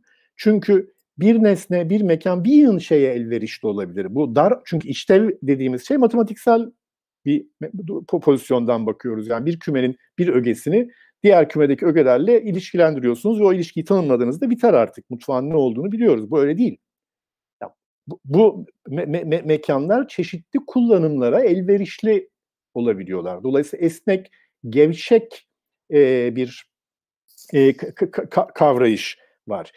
E, bu, bu dört başlık katılaşmama, kabuklaşmama mesela aynı şey metinde bunu da söylüyor. Kabuklaşmamak, yumuşak tutabilmek diyor. Bunların tamamının çok önemli olduğunu düşünüyorum. Bilmiyorum siz ne düşünürsünüz? Buradan biraz duracağım. Siz beni korkuttunuz, çok duruyorsunuz. Çünkü bu dört ipucuyla sonra aklıma gelen birkaç bir şey daha var. Onlar da sizin 91'deki metniniz ve Atilla Bey'in e, iki küçük metninden gelen bir şey var. Onlar bir araya geldiğinde e, benim ilk bu konuşmada ne yaparız diye düşünmeye başladığım yerden çok daha kendi kendimi e, kendimi gaza getirip diyeyim heyecanlı bir yere e, gö- götürdüğümü e, düşünüyorum. O metni e, adı sorulmuş hemen Uğur Bey size bırakıyorum. A, Arademento'da 91 yılında yayınlanan sayısını hatırlayamıyorum ne yazık ki. Tarih bilinci ve çağdaş kişilik diye bir metin. E, bu benim metnimin de yer aldığı sayıdır zaten ama ben evet. de doğrusu bunu söyleyemeyeceğim hangi sayı olduğunu ama 91 yılında olduğunu gayet iyi hatırlıyorum. E işte Atilla Bey'in de orada yine benimkinden daha kısa bir metni vardı. E senin söylediklerine o anlamda ekleyeceğim bir şey yok. Yani şöyle söyleyeyim gerçekten de Nezih Bey'in temel meselesinin en fazla önemsediğim konudan başlayayım soruların e, sorulabileceğini ama cevaplanamayacağını söylemesiydi. Yani sürekli cevaba odaklı bir mimarlık dünyasındaki neredeyse bütün modernitenin 18. yüzyıldan başlayarak tarihi cevaba odaklı diye nitelendireceğim mimarlık bağlamında. Ama Nezih Bey'de böyle bir tavrın olmaması bana bir kere çok ilginç gelir. Tasarımı da öyleydi zaten. Cevap yoktu ki tasarımında. Tasarımlar bitmezdi. Hani tasarlamaya doyamazdı diye benim sürekli söylediğim doyamaması bundan kaynaklanıyordu. Bitemezdi ki sorulara kesin ve başlangıçta daha başladığında bilerek yanıtlar vermeye başlayan bir mimar gibi davranamazdı ki öyle binalar inşa edebilsin. Dolayısıyla binaları da neredeyse tarif bile edemeyeceğimiz binalardır. Hani bana Sedat Hakkı binasını tarif et derseniz 5 dakikada size sadece sözde bir Sedat Hakkı binasını sanki tarif ederim. Yine tarif edemem kuşkusuz ama en azından ikna edici bir imge gözünüzün önüne gelebilir. Ama ilginç olanı bunun diyelim ki Nezih Bey için söz konusu olmayışıydı ve böyle bir imkan vermezdi. Bir kere bunu özellikle vurgulamakta yarar var. Benim daha da fazla vurgulamak istediğim bütün o doktora pardon doçentlik tezi bağlamında İtalya ile ilişkiyi biraz daha önemseyerek işe girmek istiyorum. Hiç rastlantısal bir bağlantı değil. Unutmayalım ki onun kuşağı mimarlık denildiği zaman akla Almanya'nın geldiği kuşaktı. Yani yetiştiği okulu düşünelim. Akademide yetişti. Güzel Sanatlar Akademisi'nde, e, Güzel Sanatlar Akademisi o dönemde ve hiç kuşkusuz daha sonra gittiği teknik üniversitede Almanya'nın neredeyse şubesi gibiydi. Bonatz Teknik Üniversitedeydi. Akademide hem Sedat Hakkı vardı hem Bonatz'ın uzanımı vardı diyeceğim. Dolayısıyla da Almanya ile bağlantılı Almanya'nın dünyada mimarlık bağlamında başrol oynadığı biçiminde bir inanç da tanımlıydı. Tam da bu koşullarda bunun tamamen dışında İtalya ile ilişkilenmiş bir mimarla karşılaşıyoruz Nezih Eldem'de. Şimdi bu bir taraftan muhtemelen rastlantısaldı. Neden rastlantısaldı? Ve çünkü Anıtkabir meselesine bir biçimde girmiş. Anıtkabir meselesinde herkesten daha yetenekli olduğu için çizimlerin önemli bölümü, hatta ayrıntı tasarımlarının önemli bölümü Nezih Bey'in elinden çıkmış. Bunu artık bugün biliyoruz. Emin Onat'ın elinden çıkma bir tane bile ayrıntı çizimi, söz gelimi Anıtkabir için söz konusu değildir doğrudan doğruya çizimlerin ağırlıklı kesimi ayrıntıya yönelik olanların Nezih Bey'in çizimleridir. Perspektiflerin bile bir bölümünün böyle olduğunu söyleyebilirim. Ama dikkat edelim tesadüfen mozaikler için İtalya'ya gitmek gerekiyormuş ve Nezih Bey gönderilmiş. Niye Nezih Bey gönderilmiş? Doğrusu ayrıntılarını bilmiyorum ama eşinin İtalyan kökenli olduğunu biliyorum. Belki de ondan kaynaklanan bir e, dolayımla hani böyle bir İtalya ile bir yakınlık ihtimali aklıma geliyor ama bunun araştırılması gerekir mi? Hiç kuşkusuz araştırılması gerekir. Çünkü hepimizin öznelliği sonunda kaçınılmaz biçimde mesleki davranışımızda da dışa vuruluyor. Dolayısıyla buradaki mesele de aynen böyle düşünülebilir ama ondan sonraki kariyer hiç rastlantısal gözükmüyor. Bir kere İtalya'ya gidiyor. Joe Ponti ile bir kere bir biçimde bağlantı kuruyor. Özellikle ne kadar derslerine girdi bilmiyorum. Muhtemelen derslerine ancak arada sırada girmiş olabilir. Böyle şeye tahammül edebilecek biri de değildi. Oturup da hani baştan sona bir Joe Ponti dersini bir sömestr boyunca izledi falan gibi bir şeye inanmak bana kolay gelmiyor. Asla da böyle bir şey ben kendisinden duymadım. Ama İtalya'da gerçekten pratikte çalıştığını biliyorum. Joe Ponti'den ciddi biçimde etkilendiğini biliyorum. Ama ilginç bir biçimde çok güçlü olmasa da İtalyan mimarlık düşüncesiyle de bir biçimde ilişkili kurmuş gibi geliyor bana. O doçentlik tezine bakıyorum ve ben onun içinde söz gelimi e, Lodoli, Algarotti, Milizia gibi evet. 18. yüzyılın rasyonalist kuramcılarının adlarını görüyorum. Hiç de yanlış sayılmayacak çok kısa özetlerle hatta fikirleri de özetleniyor. E şimdi Türkçe'de gördüğüm benim en erken ifadeler. 18. yüzyıldaki erken modern mimarlık düşüncesindeki rasyonalist damar üzerine konuşan benim bildiğim ilk insan. Şimdi bu e, uyanık bir e, insana işaret ediyor. Bu öyle kolayca hani sadece seviden açıklanabilir bir şey değil. Hiç kuşkusuz Bruno Sevi ile ciddi biçimde etkilendiği bir e, söylenebilir. Ne yazık ki o doçentlik tezinin sendeki de bendeki de e, dipnotsuz bir nüshası. Halbuki dipnotları var anladığım evet. kadarıyla. Dolayısıyla ancak şey yapabiliriz. Hani kestirimde bulunabiliriz. Bana öyle geliyor ki e, Sevi'nin modern mimarlık tarihini bir kere okumuş ya da en azından yer yer ondan yararlanmış. Çünkü o 1949 tarihli bir e, ilk baskısı olan bir küçük kitaptır. Muhtemelen onu okumuş. Dolayısıyla e, Sevi hakkında bir fikri var. Ve ilginç biçimde başka çağdaşlarında görmediğimiz ilginç bir modernlik kavrayışı da var. Sana telefonda konuştuğumuzu hatırlarsan bir şey üzerine konuşmuştuk. Metnin içinde bir yerde demokrasiyle modernist mimarlık evet. arasında ilişki vardır. Diyor ki Türkiye'de 1930'lardan beri modernizm üzerine konuşuluyor. Bir kişinin aklına gelmemiş böyle bir şey. Yani özgürlük ve ne diyelim e, demokratik e, tavırla modern mimarlık düşüncesi arasındaki akrabalık üzerine konuşan ilk kişi. Hani neredeyse Nezih Bey gerçekten de kuramsal konularla daha fazla ilgilenseymiş diyeceğim geliyor. Çünkü bu kavrayışa söz gelimi o dönemdeki hiç kimse de ben görmedim doktorasını modernite üzerine yapmış insanlar buna dahil. Bülent Özer'i söyleyeyim. Bülent Özer'in bütün tezi modernizm üzerine bir tek satır demokrasi üzerine, özgürlük üzerine ve onun mimarlıkla ilişkisi üzerine ifade görmedi. Şimdi bu çok şey söylüyor. Yani Türkiye'deki mimarlık düşüncesinin nerelere takıldığı, nasıl hep aynı basit sorulara basit cevaplar araya araya gittiği uzun bir aralıkta ve bunun epey ortamı körleştirdiğini de bence görmek zorundayız. Onun için Nezih Bey de böyle bir şey fark ediyorum. Hatta e, ukalalık etmeyeyim. E, Giulia Veronese'nin çok ilginç bir kitabı vardır. E, basılma tarihi galiba 53. Bu İtalya'da mimarlığın politik zorlukları adını taşıyan bir küçük kitaptır ve bildiğim kadarıyla politika ile mimarlık arasındaki ilişki üzerine yazılmış dünyadaki erken kitaplardan biridir. Bu Mussolini dönemini 20 ile 44 arasındaki dönemin mimarlığının nasıl politik çalkantılarla ilişkili olduğuna ilişkin minicik bir kitaptır ve e, bence hala neredeyse anlamlı olmayı sürdüren bir kitaptır. Sanki ondan da haberliymiş izlenimini doğrusu edindim. O tezi gördükten sonra yani tezin dipnotları sanıyorum ki tezin kendisinden daha ilginçmişler diyeceğim.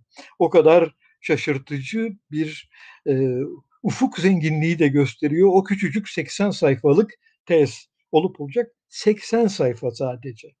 E, bu Dolayısıyla biçimsel ilişkilenmeden daha öte İtalya ile gerçekten daha damardan ilişki kurabilmiş biriyle karşı karşıyayız.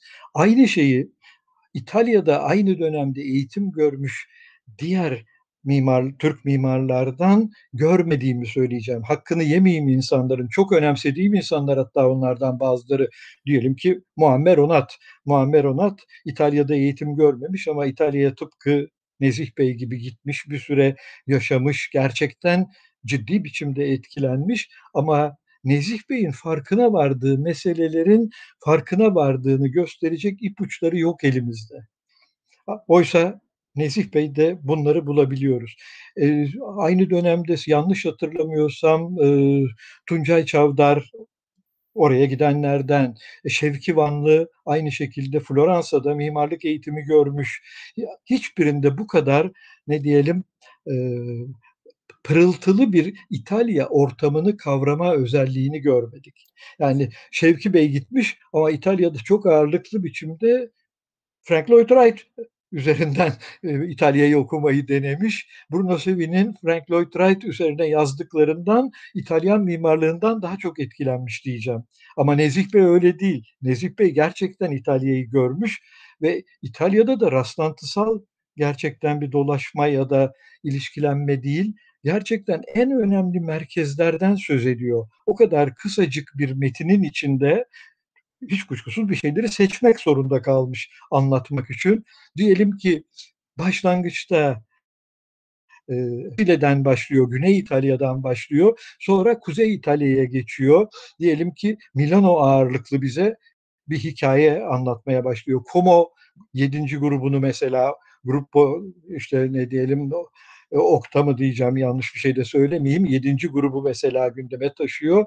E, sanıyorum en kayda değerleri fark edebilmek gibi neredeyse içgüdüsel bir becerisi olduğunu düşünüyorum doğrusu. Yani ortamda sadece bulduklarıyla rastlantısal karşılaşmalardan biraz daha fazlasını yapabildiği gibi yine pozisyon almayla ilişkili olarak bunu söylemek zorundayız.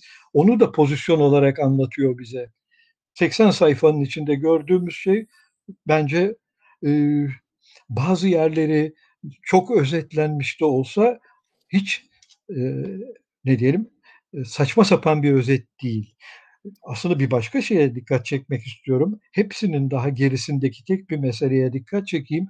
O dönemin teknik üniversitesinde tezler yapılıyor. Yeterlik tezleri ve doçentlik tezleri. Hemen hepsi tarihsel niteliktedir hemen hepsi e, halk mimarlığının ürünleridir. Diyelim ki e, Kastamonu, Kastamonu evleri yok ama diyelim ki Kayseri evleri, diyelim ki Kütahya evleri, diyelim ki Bursa evleri birdenbire karşımıza bunların hiçbirini anlatmayan bir adam bir yeterlik teziyle geliyor ve büro binaları anlatıyor bize. Şimdi e, Allah Allah demek lazım. O dönemde büro binalarına müthiş bir talep vardı da buna mı yönlendi? Yok.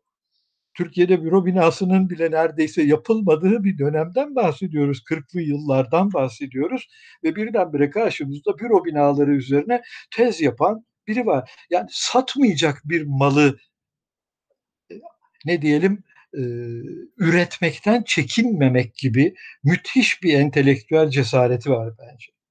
İkincisi doçentlik tezi aynı şey. Onun da bu nitelikte olduğunu söyleyebilirim. Herkesin Osmanlı mimarlığı anlattığı bir okulda ve dönemde o bize kalkıyor. İnsanların merak bile etmediği İtalya'dan modern mimarlık anlatıyor ki şahane bir kavrayış zenginliği. Pardon Bülent lütfen. E, çok küçük bir şey ekleyip sonra Meriç'in sorusu var aslında o da sorabilir bize ama ya, yazmış ben okurum buradan onu size aktaracağım. E, fakat bir, bir dakika kendi ekleyeceğim şeyi unutmamam gerekiyor. Ha evet bu satmayacak malı yapma meselesi to, toplamda gene bir şey anlatıyor e, ne, Nezih Bey'e. Bu e, epey önce e, re, ben reçeteden yani Nezih Eldem'in reçeteden söz ettiğini hatırlattığımda e, o 18. yüzyıldan başlayarak bütün mimarların re, reçete ürettiği falan çok, çok doğru tabii ama bu sadece aslında mimarlığın problemi de değil. Bu ben buna son zamanlarda profesyonelleşme de, demeye başladım. Ya da e, ürünün ve pratiklerin metalaşması. Yani böyle olması lazım. Satacak yani bu satmak derken salt ticari bir şeyi kastetmiyorum ama metanın temel şeyi ticari olmaktan daha önce önceden bilinebilir olması. Ki işte 5 lira verip bilmem ne aldığınızdan emin olacaksınız. Bu dolayısıyla sadece e, mi, mimarlığın problemi değil. Dolayısıyla söz gelimi işte akademiyanın da pekala satacak şeyleri yapmak, gündemdeki kavramlar, jargon vesaire falan. Nezih Bey de belli ki bu, bu anlamda buna bir direnme var. Bu bitmeme meselesi de bunun parçası. Yani bitmeyen şeyi kimseye satamazsınız. Birazcık Meriç'in sorusu da e, aslında bu, bu buna bağlı. Ben ona ilişkin bir şey söylemeyeceğim ama bu Muammer Onat bana e, yine de hatırlatıyor. Yani aralarında hem benzeyen hem benzemeyen bir bir ilişki var fakat onu şu an tarif etmem mümkün değil. Yani bu gayri profesyonellik, bitmeme, bitimsizce sorgulama, sonsuzca çizme ve, ve uzattıkça uzatma süreçleri Muammer Hoca'da da olan, Muammer Onat'ta da olan e, şeyler gibi gözüküyor. Belki Nezih Eldem de çok az yapı yapıyor. Muammer Onat'ınkileri daha da az biliyorum ama belki daha az yapmaktan bilemiyorum ama bir ilişki var gibi. Fakat ne için sorusu bununla ilişkili bunu okuyacağım artık. Okuyayım değil mi Meriç? Öyle mi yapayım? Tamam. E, şöyle bir sorusu var. Bu İtalya algısını yani e, Nezih Eldem'e benzememesi diğer İtalya'ya gidenlerin diyelim ya da İtalya'yı öyle okumamış olmaları diyeyim. Doğru mu anlıyorum Meriç? Kafa salla. Evet doğru anlamışım. E, metinden okuyup üzerine pozisyon alışını ekleyerek mi yorumluyorsunuz? Diyor Meriç. Yani sen sorsana Meriç şunu Allah'ın seversen. Niye çekildin kenara ben okuyorum buradan. Yok estağfurullah karıştırmayayım dedim. Ee, aslında şu, şöyle demek istedim. Onda başka türlü bir algı olduğunu konuştuk. Ee, sonra da e, Türkiye'deki diğer mimarlarla da karıştır, karşılaştırarak bir yorum yaptınız. E, metin var yani elde tez var. E, üzerine de biraz pozisyon alışını en başta zaten girişte vurgulamıştınız. Nezih Bey'in pozisyon alarak hareket etmesini. E, diğer mimarlarda karşılaştırırken bu ikisi mi yok? Yani elde aslında karşılaştıracak hangi alanda karşılaştırıyorsunuz? Merak ettim. Yani çünkü proje üzerinden, üretim üzerinden karşılaştırmıyoruz biraz galiba. Hem söylem hem davranış üzerinden karşılaştırıyoruz. Türkiye'deki diğer İtalya'da e, eğitim görmüş ya da bulunmuş mimarlarla farkını ortaya koyarken nereden karşılaştırdığınızı ben biraz daha anlamak istedim. Ben biraz cevap vermeyi deneyeyim çünkü Muammer Onat'tan başlangıçta ben söz ettim. Şöyle bir yanlış izlenim vermeyeyim. Muammer Onat'ı sanki önemsemiyormuşum da Nezih Bey'i önemsiyormuşum gibi bir sonuç asla çıkmasın. Tam tersine e, Muammer Onat benim çok çok önemsediğim bir mimar hakkında da gerçekten uzun diyebileceğim bir yazı yazdığımı da dolayısıyla hatırlıyorum. Onun için yanlış bir izlenim vermesin ama e, birbirlerine hem benziyorlardı ki Bülent doğru bir saptama yapıyor. Benziyorlar mıydı? Tabii ki benziyorlar. Durduramama, ellerini durduramama halleri vardı. Mutlaka çizmek zorundaydı. Hani bu öğrenciye tasih yaparken bile hani genellikle öğrenciye tasih yaparken ne diyelim e, kendini bilen bir öğretim üyesi, tasarım hocasının yapacağı şey olabildiğince öğrenciye örnek vermemektir. Genellikle karalamaktır ama ikisinde de bir türlü karalayamazlardı. Sonunda mutlaka bir şey çizmeye doğru giderdi. Sonunda karalamaya dönüşürdü o bir şey çizdikleri ikisinin de ama çizmek sizin rahat edememe, her durumda çizme hali, her durumda bir türlü nihai kararı verememe. Ama Emin Onat da bu çok güçlü bir biçimde sonuna kadar devam ederdi. Kendi projelerinde de projeler bitmezdi ki. bitmiş tam bitmiş bir binası var mı? Bir dakika, Hep merak şey, ediyorum. Onat deyince karıştı. Muammer Onat'ta mı Nezih Eldem'de mi bu söylediğiniz? Muammer Onat'ta. Muammer Onat'ın neredeyse projeleri bence bitmezdi. Bitmez yani kendisinin tatmin olduğu bir yapı olduğunu ben sanmıyorum. Hiçbir yapısını, hiçbir öğrenciye önerdiğini, gösterdiğini, herhangi bir yerde yayınladığını görmedim. Memnun değildi. Asla memnun değildi. Bir projeyi onun onunla proje yapıyorsanız okulda öğrenciliğinizde projeyi bitirirseniz rahatsız olurdu. Yani neredeyse hakarete uğrardınız proje bitiyor diye. Öyle bir ilginç sürece egemen olma hali ama sonuca egemen olmaktan itinayla kaçınma hali öyle söyleyeyim. Bu Nezih Bey'de de vardı, Muammer Bey'de de vardı ama Muammer Bey'de Nezih Bey'deki kadar belirgin bir pozisyon alış yoktu. Yani şöyle söyleyeyim, kendisiyle özel konuşulduğu zaman ben Muammer Bey'de mesela Muammer Onat'ta ciddi biçimde eleştirel pozisyonlar gördüm. Hani bir kişiler hakkında gerçekten çok eleştirel konuşabilirdi. Ne diyelim canına okuyabilirdi karşınızdaki insanın fizik şey özelliklerinin ne diyelim e, psişik özelliklerinin ama hiçbir zaman açık biçimde bunları kamu önünde savunmazdı. Şimdi Nezih Bey'deki Nezih Bey bütün kibarlığına, bütün terbiyesine, hatta çok açık çekingenliğine rağmen bence bunları dışa vurma yeteneği vardı. Yani her seferinde Nezih Bey çıkar bir biçimde o konuda itirazı neyse onu olabilecek en dolambaçlı biçimde bazen dediğim gibi sıkacak kadar uzun anlatırdı. Sıkılırdınız. Hani insanlar birbirlerine bakmaya başlarlardı toplantıda. Hani ya bıraksa artık da yetti bu konuda demek zorunda kalırlardı. Ama bu müthiş bir marifetti. Yani kamu önünde böylesine bir pozisyon alabilme bana öyle gelir ki e, o kuşakta ve bu ülkede e, ender görülen bir özellikti. Ama diyelim ki bu Şevki Vanlı'da yoktu. Şevki Vanlı'da bu süreç fikri de yoktu. Şevki Vanlı hemen ne diyelim bir tasarımsal ürün ortaya koymak isteyen cinsten bir mimar olarak yine önemsediği biri benim önemsediğim biri ama e, diğer ikisiyle aynı paketin içine doğrusu e, koymam. E, Nezih Bey ile Muammer Bey büyük ölçüde birbirlerine benziyorlardı ama aynı dönemde İtalya'ya giden herkes böyleydi dersem yanlış olur. Ayrıca herkesin İtalya'daki serüveni de aynı değil zaten. Onu da sanki İtalya'ya gitmek diye sanki standart bir prosedür varmış gibi konuşuyoruz. Hangi İtalya'ya, ne olarak, ne kadar, nasıl, kiminle bağlantılı gitmekten konuşuyoruz. Muammer Bey neredeyse gezi yapmış. Ama şeyinki Nezih Bey'inki gezi değil ki. Nezih Bey orada gerçekten bir biçimde yaşamış, mozaik fabrikalarında doğrudan doğruya üretimin başında bulunmuş. Ne diyelim her bir mozaiğin hatırlıyorum öyle bir şey anlattığını her bir mozaiğin renk kodlarına göre sayısını saydıklarını ve öyle ısmarladıklarını hatırlıyorum. Yani böyle yapılmış bir iş yani neredeyse bütün vaktini alan somut bir iş yapmış. İtalya'da öyle sadece Joe Ponti ile karşılaşma ya da Joe Ponti'den etkilenme, İtalyan kültür alanından etkilenme olarak anlatamayacağım ama Muammer Bey ile gerçekten şaşırtıcı bir benzerlikleri ilginç bir biçimde bana kalsa vardır.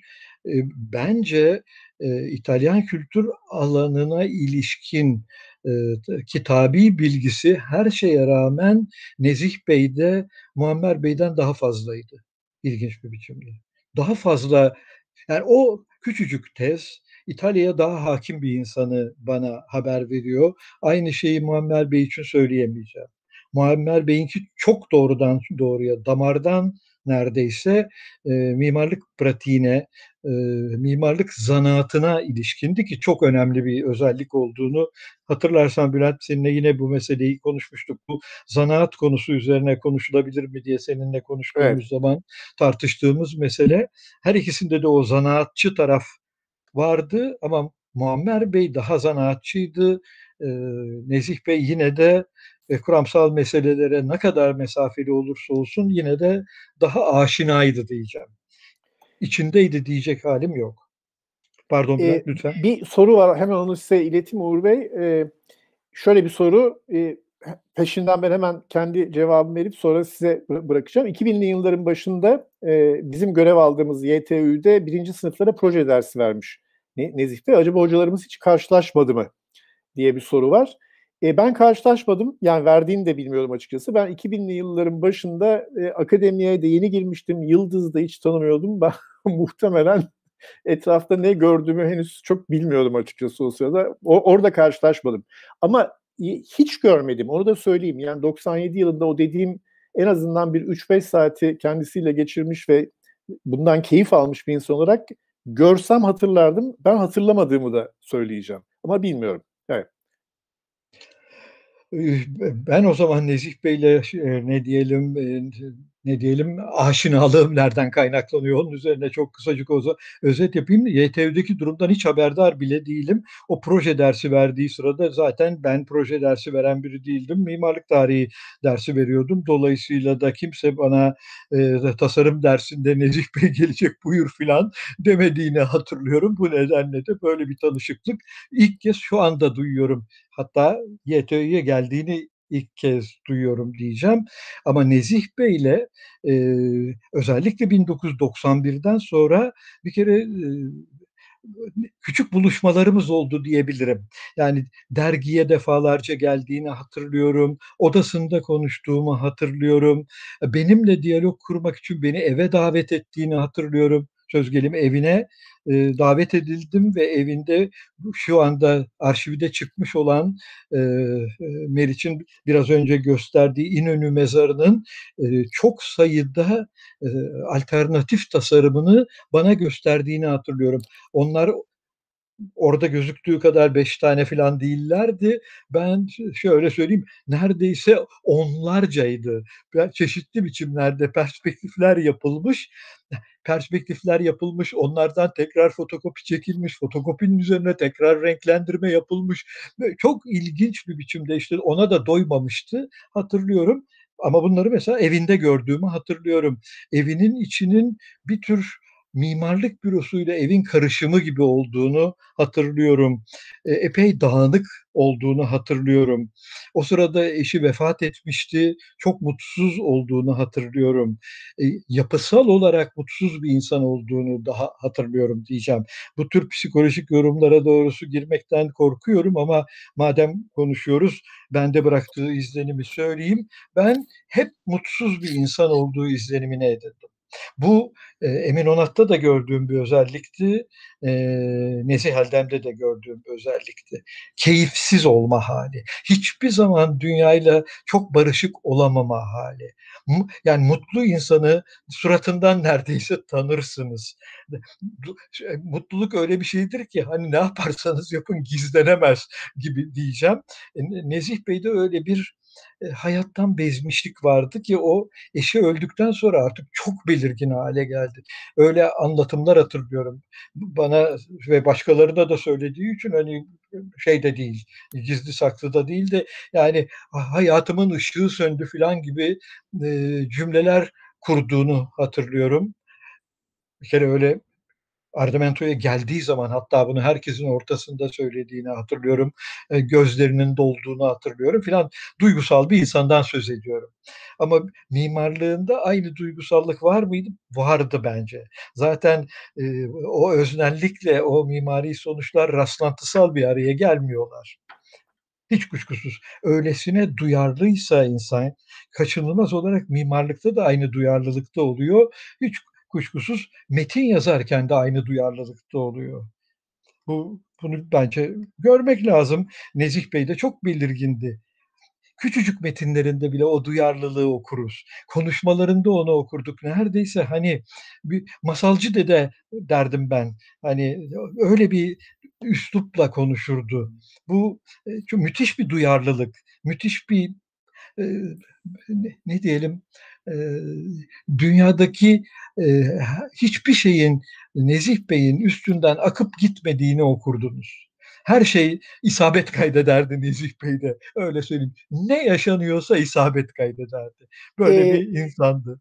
şöyle bir yere bağlayarak devam edeyim mi? Çünkü Lütfen. Süre, süremizi de bitireceğiz ve şu sizin metinden çıkardım ama bir, bir yerlere istediğim bir iki şey var. E, bu üzerinden akıp gitmemesiyle vesaire de pe, pekala ilişkilendirmek mümkün. Hem de bir soru var bitmeyen projeler, işlev yerine elverişlilik bunlar bir anlamda ayırt edilemez bir duruma işaret etmiyor mu diye tahmin ediyorum ki bu soruya da tam bir cevap olmasa bile cevap olmaya başlayacak.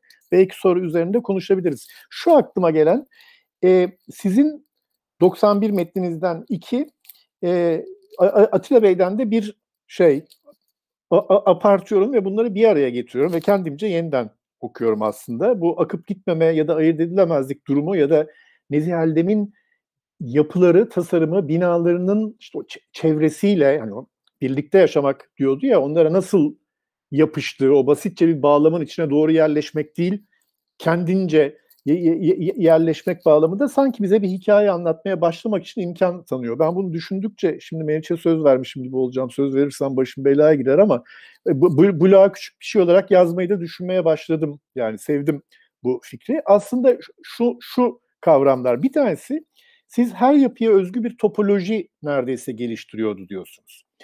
E, bence Nezih Bey'i ve Nezih Bey'in tasarımlarını özellikle de üzerinde çokça konuştuğumuz bu restorasyon mu değil mi, ekleme mi, dönüştürme mi yeni bilemediğimiz bu yapılar yani İTÜ'de yaptıkları en genel anlamıyla Harbiye, e, Ziraat Bankası vesaire bütün bunları düşünecek olursanız bunlara çok çok çok iyi uyuyor ve hiçbirinin bir reçeteli cevabı da yok.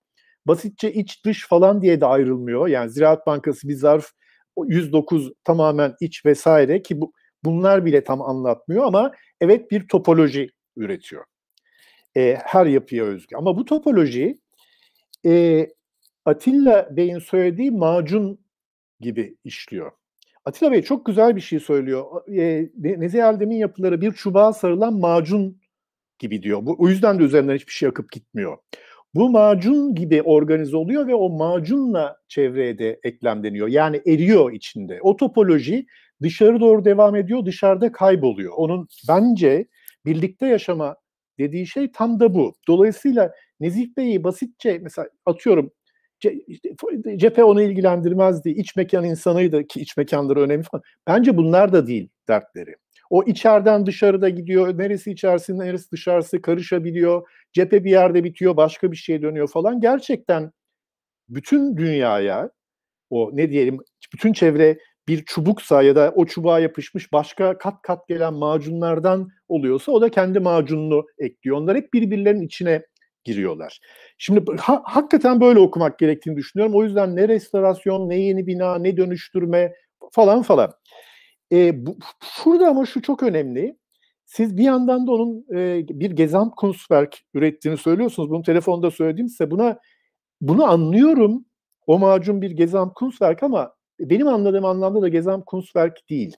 Yani bu macun diğer macunlarla birlikte yaşayacağı şeyler ve o çubuklara yapışmak için bir, zaten bitmiyor işte tasarlanması. Yani deli gibi ayrıntılandırmak gerekiyor ki onlar macun gibi iç içe geçsinler.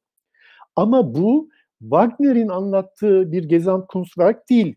Bauhaus da Gesamtkunstwerk arıyor zaten. Yani o herkes ne yaparsa yapsın tamamı tümel bir sanat yapıtı olacak. Hepsi birbiriyle uyumlu olacak. Giderek bir dünya tek bir elden çıkmış neredeyse Gezam Nezih Bey'inki öyle değil tam tersine o her yapıya özgü topolojiyi imal etmek için her noktasıyla uğraşmak zorunda. Ama bu üçlüyü bu birbiriyle ilişkilendirerek ve ilk başta söylediğim o dört şeyi elverişlilik, soru ortaya çıkarma, reçetesizlik ve işte birlikte yaşama me- me- meselesiyle üzerine giderek biraz daha çalışılırsa e, ger- gerçekten ne, nasıl bir mimar olduğu ya da başta konuştuğumuz şey e, yazmadan ama çizerek, tasarlayarak neyi nasıl düşündüğünü biraz daha iyi anlamamıza, bizim onun üzerinde en azından daha iyi konuşmamıza izin verecek ipuçları gibi geliyor. Bilmiyorum e, bu e, Yiğit'in sorusuna da işaret ediyorum. Bu tabii bir anlamda ayırt edilemez. Eğer bunu mu kastediyor bilmiyorum ama ben bunu anlıyorum. Yani işlev yerine elverişlik bunlar bir anlamda ayırt edilemez bir duruma işaret etmiyor mu? E, evet zaten şey bu. Yani Taş kışlanın içinde hiç şüphesiz 109 ama o nerede bitiyor, nasıl bitiyor, neyle nasıl ilişkileniyor?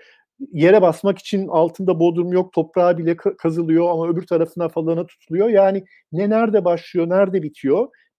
Ee, bir, ama birlikte yaşamanın belki de şeyi bu. Yani nesnelerle de ya da tasarlarken de ya da hep birlikte e, yaşama. E, bir soru daha var. Bu arada bunu okuyayım mı? Uğur Bey siz bir şey söylemek ister misiniz bu konuda? Abi söylemek istediğiniz bir şey varsa söyleyin. Bunun üzerine konuşabiliriz. Güzel bir soru çünkü. Okuyayım mı soruyu? Tabii lütfen. Tamam. Nezih Eldem'de birlikte çalışma şansı bulduğu Sedat Hakkı Eldem'in mimarlık anlayışına dair izler var mıydı? Eyvah. ben bir, bir cümlelik cevabımı verip size bırakayım isterseniz. Hemen ver buyur. Evet, hayatlarından başka benzeyen hiçbir şey yok. Tam ters uçlar benim gö- gö- gözümde öyle söyleyeyim. Bülent e, bana öyle geliyor ki soyadları bile benzemiyormuş. Çünkü gösterilen o arşiv belgelerinin içinde bir zamanlar soyadı güvenmiş. Güven, evet. Birdenbire onu gördüm. Dolayısıyla o da yok. Evet, evet. O da yok. o zaman ben biraz devam edeyim. Birbiriyle bu kadar aykırı iki insan tasavvur bile edilemez bana sorulursa. Yani e, Sedat Hakkı Eldem'le de hiçbir benzerliği yok. Emin Onat'la hiç mi hiçbir benzerliği yok. Tesadüfen akademik olarak rastladığı insanlar Türkiye'deki hele o dönemdeki akademik grand senyörlerin dünyasında onlara yolu düşmüş. Öyle grand senyörler vardı. Hani istemeseniz de akademideyseniz Sedat Bey'le çalışırsınız. Kurtuluş yok. Hele 40'lardan bahsediyorsak 30'lardan. Aynı şey Teknik Üniversitede Emin Onat'la olan ilişki. Dolayısıyla hiçbir tavır benzer. Yani daha Sedat Bey çok daha belirgin bir tip olduğu için hemen söyleyelim bu çok kolay olacak çünkü Bülent kısaca özetledi. Gerçekten de Sedat Bey'in özelliği daha tasarlamaya başladığı dakikada ne yapacağını bilmesiydi. Yani onun öyle bir tereddütü acaba ne yapsam ki ne ortaya koysam bu bina nasıl olsun bu konu üzerinde acaba başka türlü düşünmek mümkün mü? Asla böyle bir şey yok. Yani Sedat Bey bilirdi. Öğrenmesi de gerekmiyordu. Bilirdi. Nezih Bey şahane bir avantajı vardı. Bilmezdi. Nezih Bey bilmeyen mimardı. Biraz önce Aynı şeyi, çok özür dilerim. Sözün ettiğim metnin iki sayfalık metnin tam başlangıcında da bunu söylüyor. Yani bana hep şunu sorarlar ben de bilmiyorum. Çok güzel. E, gerçekten de bu o kadar büyük bir farklılıktı ki hele kendi kuşağı için çok olağan dışıydı bence. Yani onun için bence kadri de bilinmemiştir. Yani eksantrik bir adam diye görüldüğünü hatırlıyorum ben bir zamanlar gerçekten de. Hani gerçekten e, mimarlığa yaklaşımı bağlamında, pozisyonu bağlamında öneminin de farkına varılmadığını düşünmüşümdür.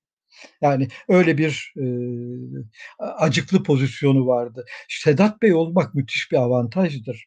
Çünkü zaten herkesin cevap beklediği bir ülkede size daha sormadan cevapları veren bir adam vardı. Sormadan cevaplar gelirdi Sedat Bey'den. E şimdi bu başka bir pozisyon. Tam dediğim gibi Sedat Bey bilirdi. Sedat Bey'in öyle tereddütü, şu su, bu su, ikircikli kalma hali, Bunların hiçbiri olmazdı. Bu dolayısıyla Bülent'in başta söylediğini ben de tekrarlayayım. Sadece olsa olsa soyadları benziyordu. O bile bir rastlantıyla benzer hale gelmiş çünkü başlangıçta bambaşka bir soyadı varmış. Güvenmiş. Belki de iyi etmiş. Güven soyadı e, bana gel öyle geliyor ki e, Nezih Bey'e uygun da değildi. Nezih Güven kendisi hiçbir şekilde kimseye güven vermek için özel bir çaba harcamayan bir adamın güven diye soyadı taşıması bence ironik olurdu. Allah'tan değiştirmiş diyeceğim. Bu e, şeyi üzerine biraz e, yapıları ve etkilenme üzerine görsellerden gösterelim mi? O PowerPoint'ten yani bilmiyorum başka sorular var mı? Devam etmek gerekiyor mu? Devam edilebilir mi? Gibi soruları soruyorum. Ee, devam edebiliriz şu anda çünkü izlenmeye devam ediyor. Değerli bir kayıt oluyor. Bence isterseniz 15 dakika ekleyelim diyelim. Ee, bu arada o şeylere, görsellere e, bakabiliriz. Olur. Evet. O zaman, o zaman Uğur Bey o, onu ben paylaş bir dakika şuradan paylaşıyorum ve e, ben arada hiç şüphesiz konuşurum ama size bırakacağım sözü. Ben çok kısa söyleyeceğim birkaç şey tamam. var uzun uzun. Doğrusu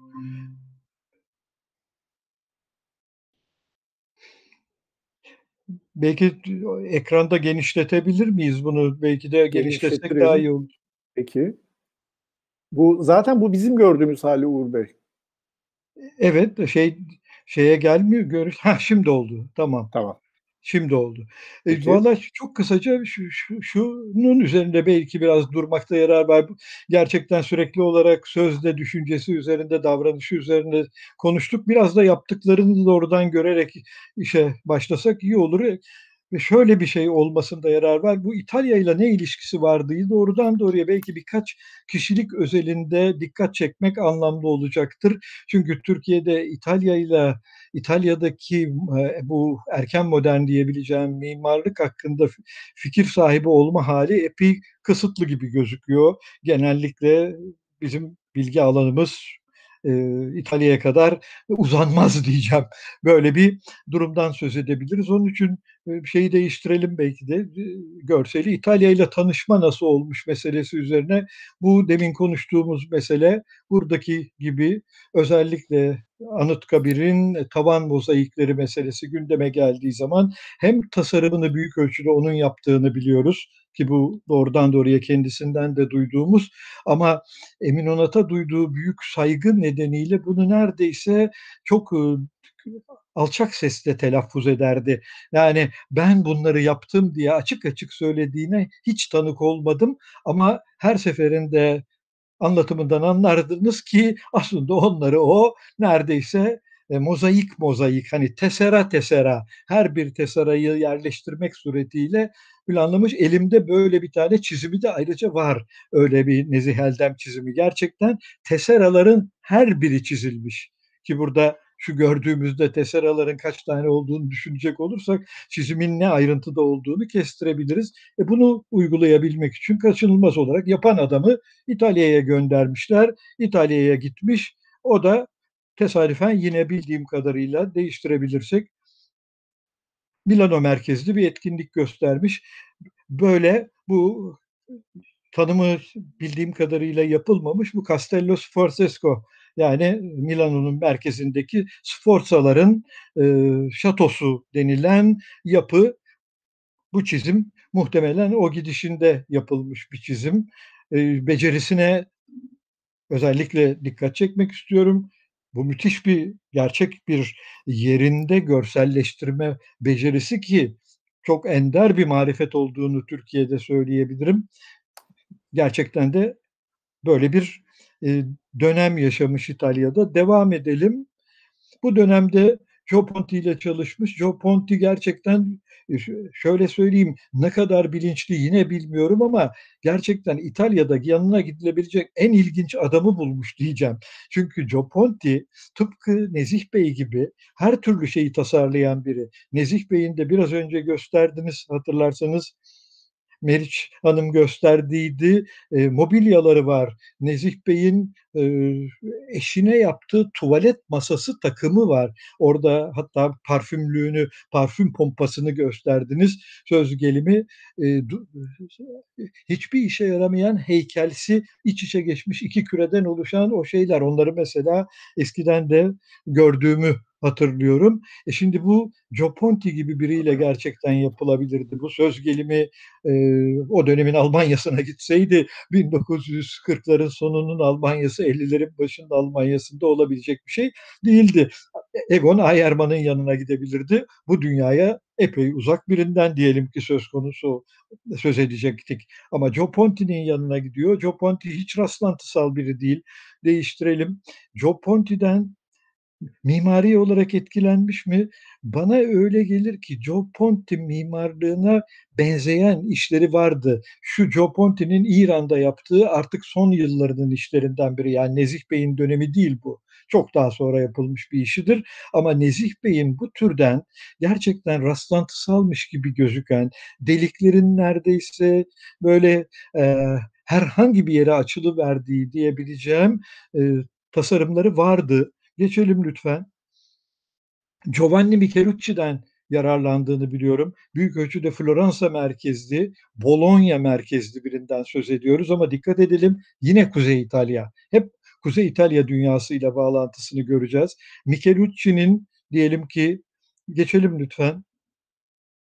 Özellikle erken dönemi 50'li yılların başında yaptığı Floransa'daki bazı konut blokları gördüğüm zaman bu benim çizimim şey, çekimim değil bu bir internetten alınma bir çekim ee, çok şaşırtıcı bir biçimde Nezih Bey'in elinden çıkmış gibi gözükürdü. Hatta gördüğümüz zaman birkaç kişi gitmiştik Floransa'da bu yapıların önüne hepimiz birden ya Nezih Bey mi yaptı bu yapıyı diye konuştuğumuzu hatırlıyorum.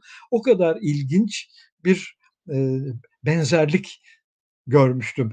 Çok sayıda birbirinden farklı malzemeyi yan yana koyabilme, malzemelerin yan yana gelip artiküle olması meselesini özellikle önüm, önemseme ki Türkiye'deki o dönem için hiç söz konusu olmayan bir şey. Her malzeme diğer bir malzemeyle gerçekten e, şey barışçı bir ilişki kurmak için biçimlendirilmiş gibiydiler.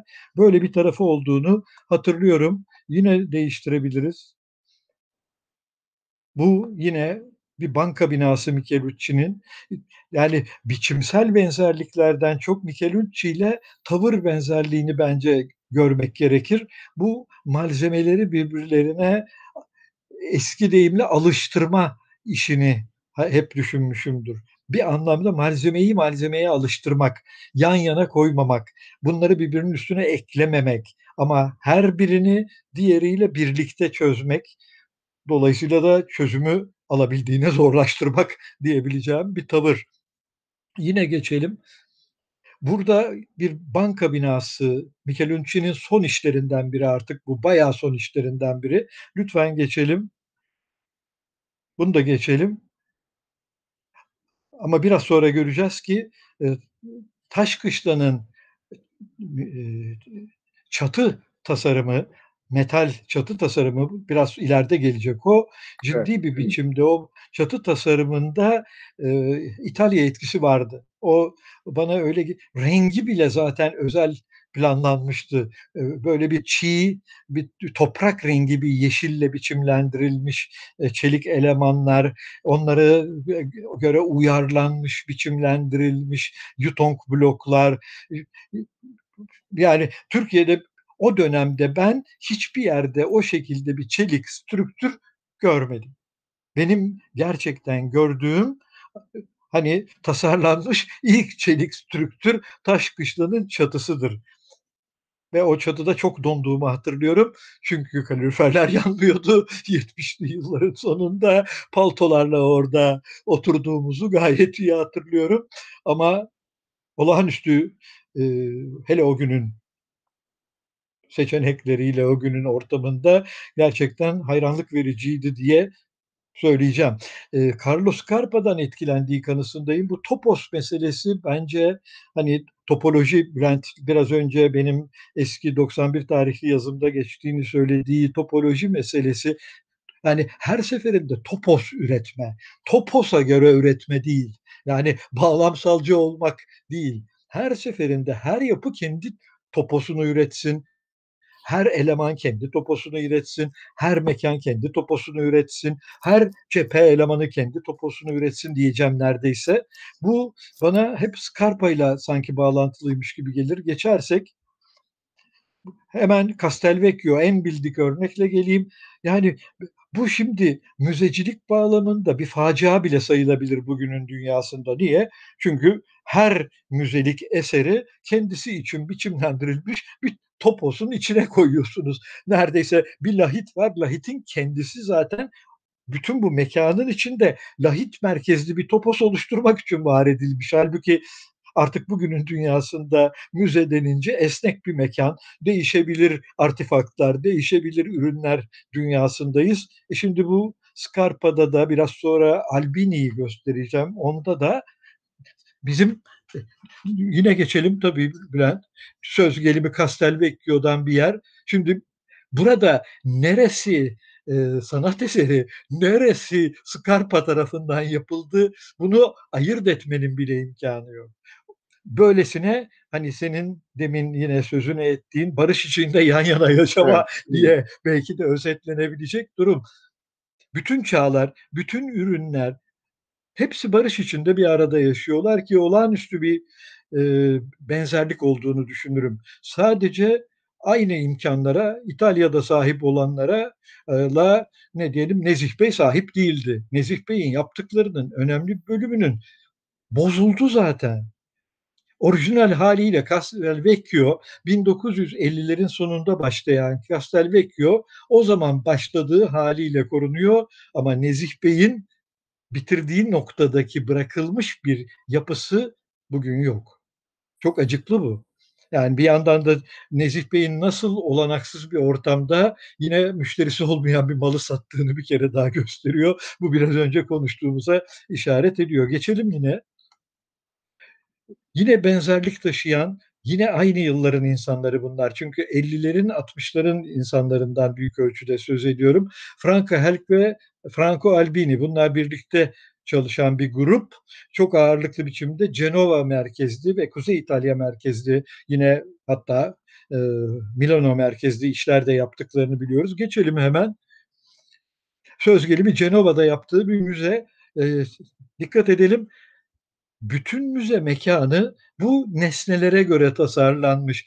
Bırakalım nesnelere göre tasar, nesneyi ayakta tutan bu e, taşıyıcı pedestal diyeceğim neredeyse kaide bile özel bir tasarım. Üzerine başka bir nesne koyamazsınız. Bir vitrine yerleştiremezsiniz. Böyle bir mimarlık. E bunun e, hem askeri müzede hem de eski şark eserleri müzesinde var olduğunu söyleyeceğim benzeri var demiyorum ama tavır benzeri. Geçelim lütfen bu o kadar hayati şeyler değil. Anlatmaya çalıştığım mesele apaçık gözüküyor. Dolayısıyla her sanat yapıtının toposunu üretmek. Ama sadece onu da üretmek değil, bütün sanat yapıtları topluca bir topos da üretsinler. Yapının kendisi de bu bildiğim kadarıyla biraz önceki bir e, orta çağ e, kilisesinin bodrum katıdır Franco Albinilerin ve önceki gözüken nesnesi. Dikkat edersek yine aynı şey.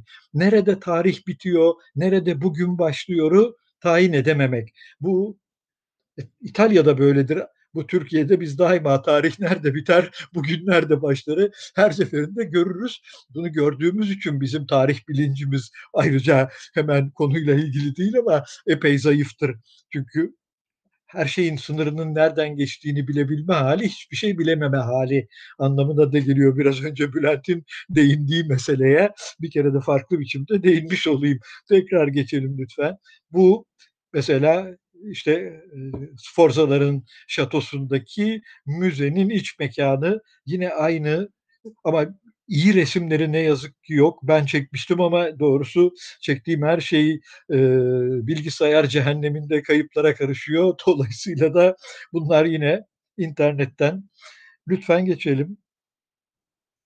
Buna karşılık böyle hiç kadri bilinmemiş bir yapıya işaret etmek istiyorum. Site sineması. Bu site sineması dış kaplaması Joe Ponti'nin 40'ların sonunda bitirdiği planoda bir e, banka binasına benzer. E, doğramayla hem yüz bir e, mermer kaplama. Böyle neredeyse tek bir yüzeyden oluşan bir kaplama. Bir kere Türkiye'ye hiç özgü olmayan ama kadri de bilinmemiş bir iştir. İç mekanı çok ilginçti. Yıkılıp gittiği için bugün artık hiçbir şey söyleme şansı kalmadı. Ama alışılı bazı e, görsellerini Meriç Hanım biraz önce gösterdi. Merdiven sistemini e, çünkü en ilginç yeri merdiven sistemiydi. Yapının yan tarafından burada gördüğümüz yüzeyinden bir merdiven sistemi metrelerce uzanarak içeriye girmeyi sağlardı ve daha da ilginci fuaye o merdivendi zaten. Fuaye merdivenin ta kendisiydi. Bu ne Türkiye'de ne başka bir yerde hiç böyle bir e, sinema binası ben görmedim. Çok ilginçti. Kendisi de bence ne kadar önemli bir deneme yaptığını bence hiç fark etmemişti. Çoğu zaman zaten kendi marifetinin ne kadar farkındaydı hep tereddüt etmişimdir. Sadece bu yapı için bile üzerinde bence uzun uzun konuşulabilirdi. Doğru dürüst içinden resim bile bulamadığımı söyleyeyim. O merdiven sistemi başlı başına benim yaşımdakilerin hatırladığı ilginç bir şeydi. Tekrar geçelim lütfen.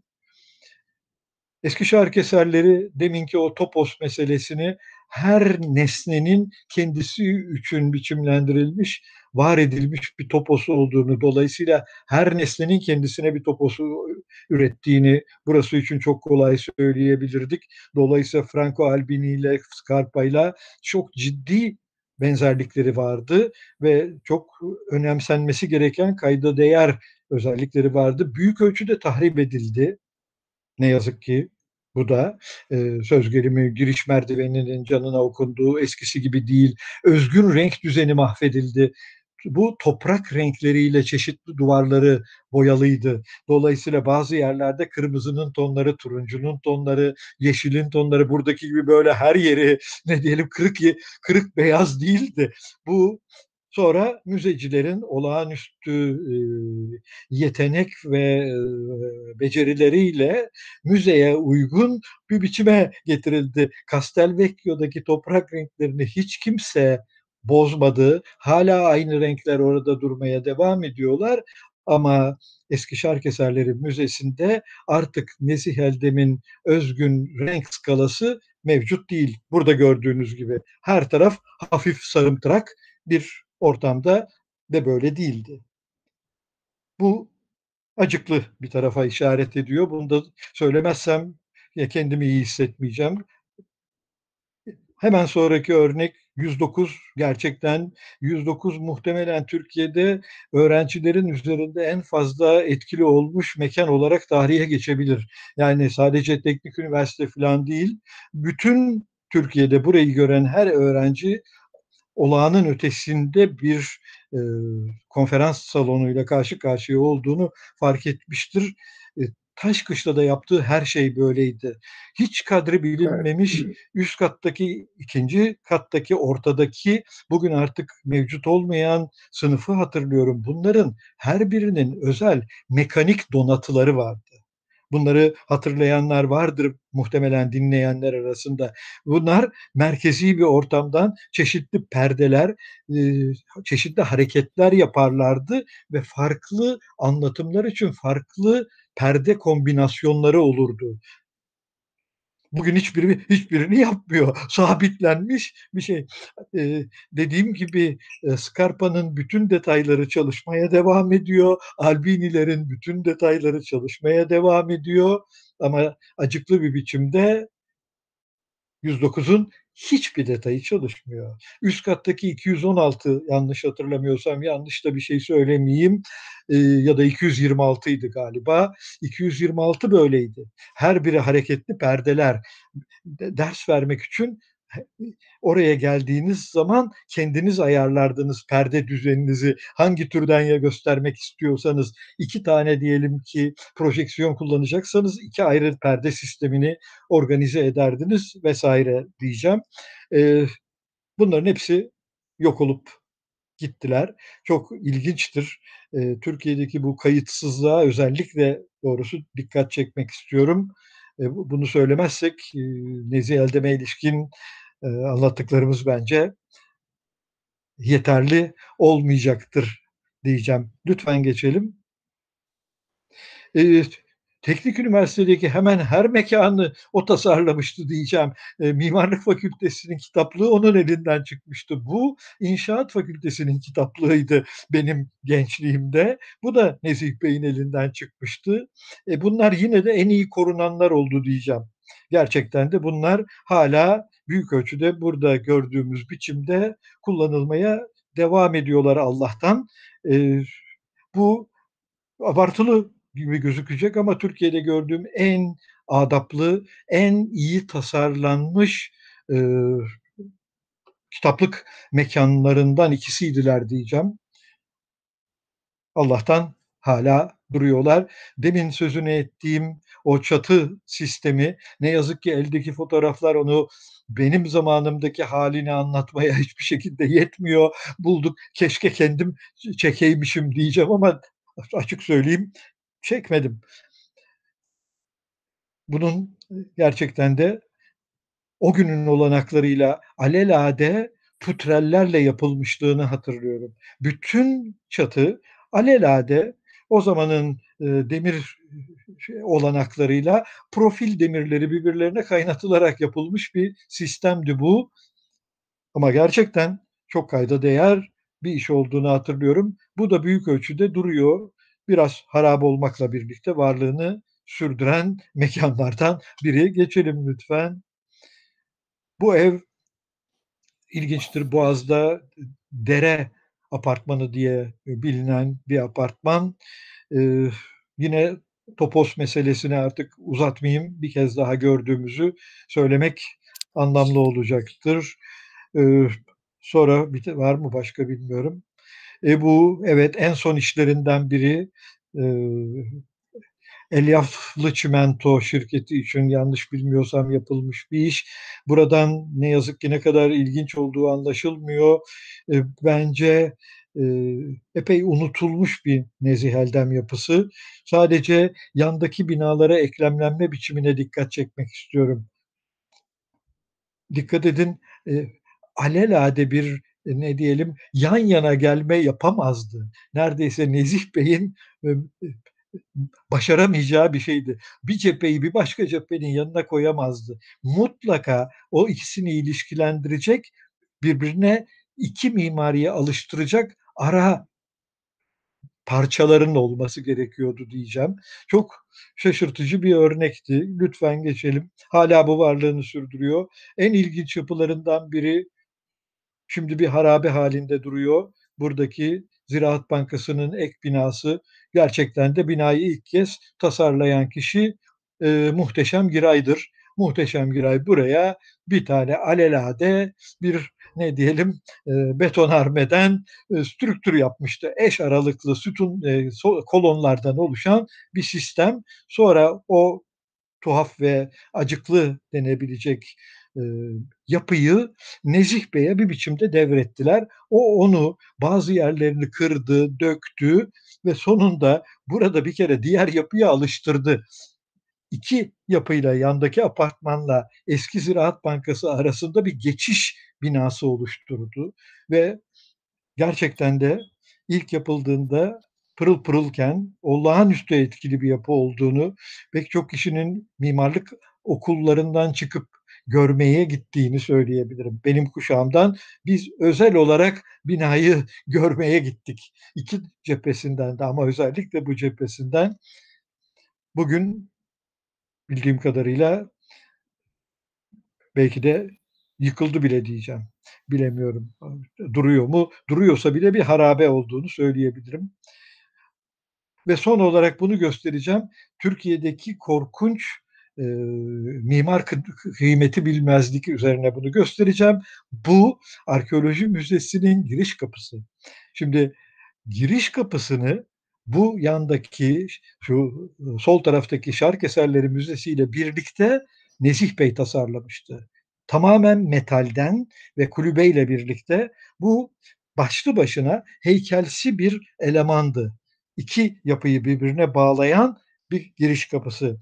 Sonra şahane üstün bir yetenekle donatılmış olan yönetim arkeoloji müzeleri yönetimden söz ediyorum. Burası arkeoloji müzesi, arkeolojiye referans veren bir kapı yapalım buyurdular ve şekilde gördüğünüz üstelik ilginç bir biçimde dört tane sütunun poli sütunlar olduğunu yani antik sütunlardan alındıklarını görmenizi öneriyorum. Şurada gördüğünüz dört tane sütun bunlar antik sütunlardır. Müze parçaları yani.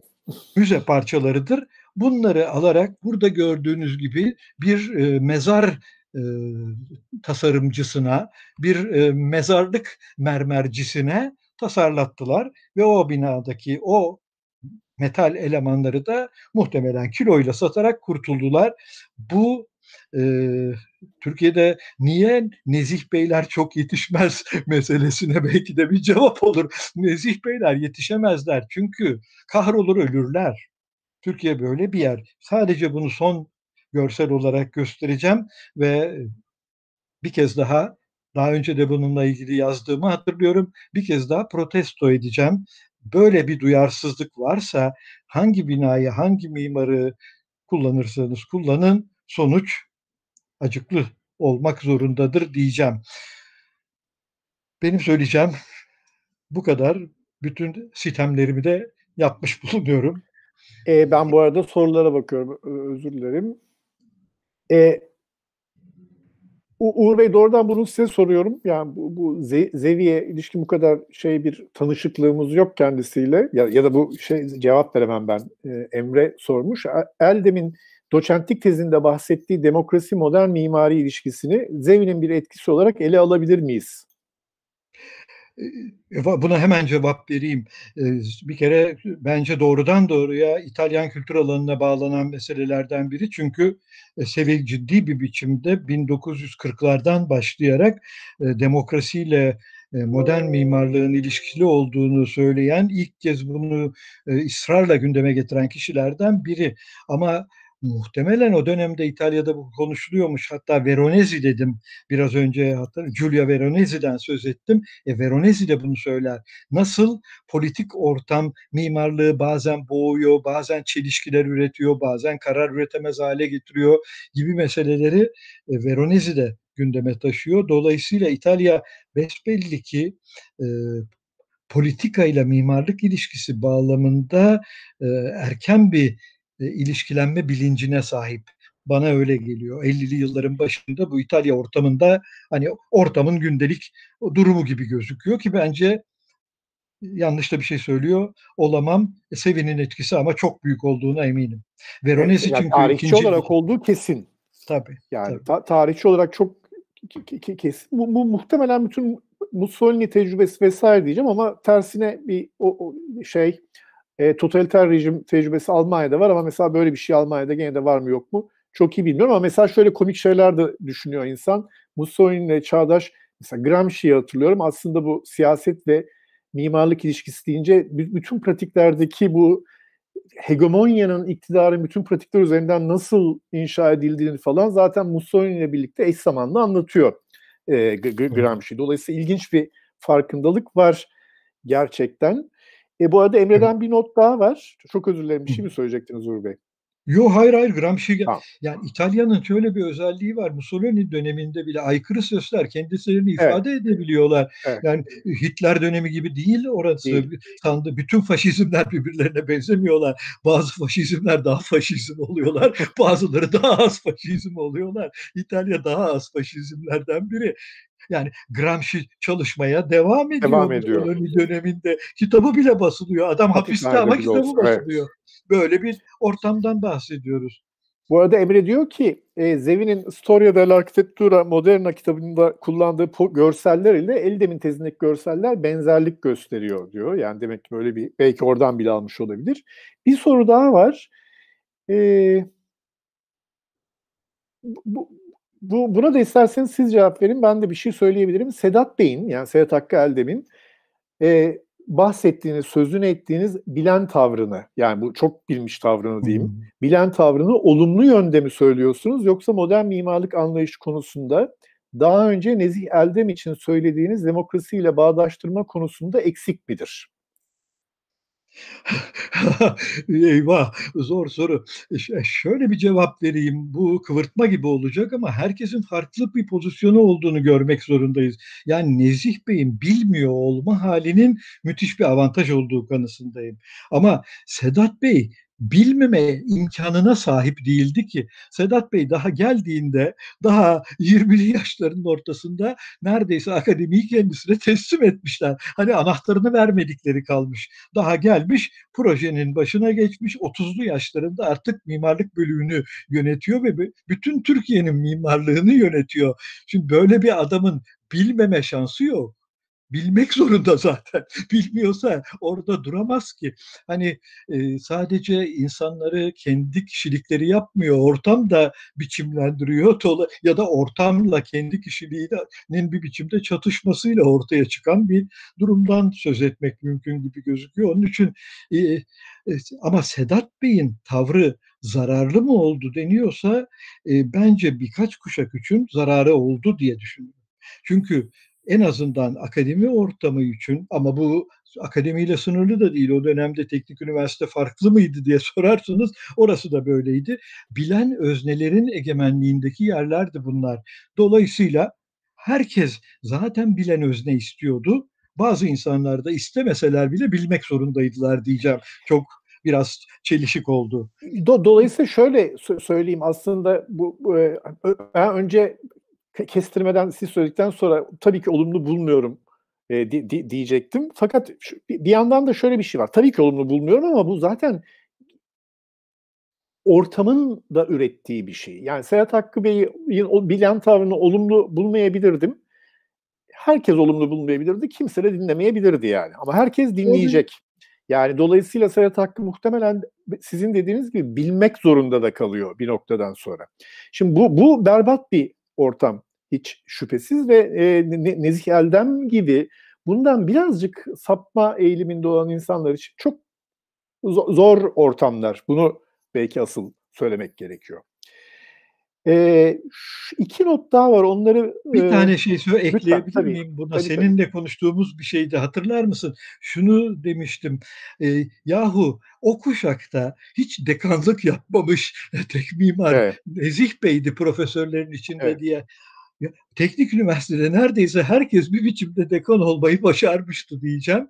Bunu bir dekan olarak söylediğim için utanç içindeyim biliyorum ama umarım Sedat Bey gibi davranmıyorumdur diyeceğim. Ama gerçekten de bu çok şey söylüyordu.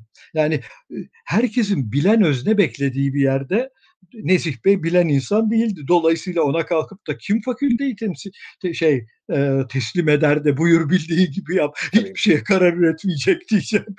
Batarız Böyle, yahu demişlerdir. Evet, Nezih bu işi beceremez demişlerdir. Halbuki harikulade bir batış olabilirdi tabii. Yani oradan evet, bayağı bence de, bence de olurdu. Yani. Bence bambaşka bir e, mimarlık sahnesi olurdu şayet o orada gerçekten bir süre e, dekanlık yapmış olsaydı değil. E, iki yorum var. Onları da aktarayım. Belki bir şey eklemek isteyebilirsiniz. Bu demokrasi, ha, pardon iki demokrasi meselesi değil zaten. Albini'nin Sant'Agostino Müzesi ile Scarpa'nın Venedik'teki akademiye için tasarladığı sergileme araçları Nezih Eldem'de çok açık bir biçimde yankılanıyor demiş Alper Metin. Ee, yine Alper Metin, İtalya'da demokrasi meselesi Giancarlo De Carlo tarafından sürekli gündeme getirildi. Hatta daha sonra özellikle De Carlo ile tanışıklık üzerinden Portekiz'de çok taraftar buldu diye gene bir e, not gelmiş. Çok teşekkür ederiz. Alper Metin anladığım kadarıyla İtalya ortamını epey iyi biliyor. Gerçekten de çok doğru söylüyor. Giancarlo Di Carlo zaten bir sosyalist olduğunu biliyoruz ve gerçekten demokrasi meselesi üzerine sürekli vurgulu konuşmuş birisi. Tim Ten'in içinde bu meseleyi gündeme getiren kişilerden biri ama yine de Nezih Bey sanki e, onun üzerinden bunu öğrenmiş gibi gözükmüyor. Çünkü tezi 54 tarihli. Evet, yani 53 önce. yılında, 52 yılında yapmış. E, Giancarlo Di Carlo daha henüz e, yeni yeni palazlanıyor diyeceğim. Onun çağı 50'lerin sonuyla 60'ların başında gündeme değil mi? Öyle gündeme evet. gelecek. Onun için Nezih Bey daha erkenci. Hani Sevi ile ilişkilenme bana daha mantıklı geliyor. Vereni, Veronezi ile dolaylı da olsa ilişkilenme bana mantıklı geliyor. Ama diyelim ki Tafuri ile olamaz. Çünkü Tafuri 60'ların dünyasında gündeme gelecek. Onun için öyle bir bağ mümkün gözükmüyor. Ama bizim bilmediğimiz başka İtalyan aktörler vardır muhtemelen. Yani biz bir grup insanı sanıyoruz sadece. Bilmediğimiz bir sürü belki de ikincil kişilikler vardı ve bir dönemde çok da etkili olmuş olabilirler. Bunlar yani İtalya çok karmaşık bir yer. Yani Milano her dönemde mesela öğrenci hareketlerinin en canlı olduğu yer. Venedik öyle 50'lerde bile oralar sakin yerler değil. Hani ama bilmiyoruz. Ya ben bilmiyorum en azından. bu kadar ayrıntılı bir İtalyan mimarlığının politik sahnesini doğrusu bilmediğimi itiraf ederim. Başka bir iş o çünkü. Evet Meriç. Ne yapıyoruz? Ee, ben çok teşekkür ediyorum size. Ee, dinleyicilere de teşekkür ediyorum. Hem sorularının hepsini ilettim, bütün yorumları da ilettim e, sizlere. Ee, hakikaten baştan sona e, keyifle izlediklerini de aralarda da yazdılar. Bu aslında ilk programımız oldu. Çok bence değerli bir kayıt oldu. Tabii ki arşiv açıldıkça üzerine eklenecek e, yeni e, konuşmalar, çalışmalar, tartışmalar olması gerektiğini böylece zaten birlikte e, altını çizmiş olduk. E, programı biz dediğim gibi mimarlığın uç bayı Nezih Eldem e, başlığı altında e, sürdüreceğiz. Mesela Bülent de şimdi bir e, blog yazısına girişmiş oldu. Bunu da hani tekrar tasdikleyelim e, böylece. E, ama e, takip edenler için e, söylüyorum. E, hem Salt Online'da böyle içerikler e, açılacak seneler içerisinde arşiv peyderpey açılacak daha fazla eklemek için. Bu konuda çeşitli birikimi olan ve katkıda bulunabilecek kişilere zaten biz e, programın duyurusunda bize başvurmalarını da söylemiştik. Bunu da e, hatırlatayım. 12 e, Aralık'ta bundan sonra planlanıyor ikinci buluşma. Bu sefer de Nezih Bey'le hem doğrudan ders almış, yani öğrencisi olmuş, asistanlığını yapmış. O bölümde e, Arzu Erdem, Hantu Mertekin ve Ayşe Orbay ile bir araya geleceğiz. Biraz pratik hayatta sonraki e, etkisini e, nasıl taşıdıklarını sohbet etme şansımız olacak. Bu konuşmanın, programın başlığında aslında biz Sevinç Hadi'den, e, Nezi de çok yakın dostu, ondan alıntı yaptık. Mimarlık Dergisi'nin Mart-Nisan 2020 sayısında ondan bahsederken şair İlhan Berke şiirin uç beyi diyorlar. Ben de Nezih Eldem'i mimarlığın uç beyi olarak görüyorum demişti. E, Sevinç Hanım'ın da böylece e, bir selam e, söyleyelim.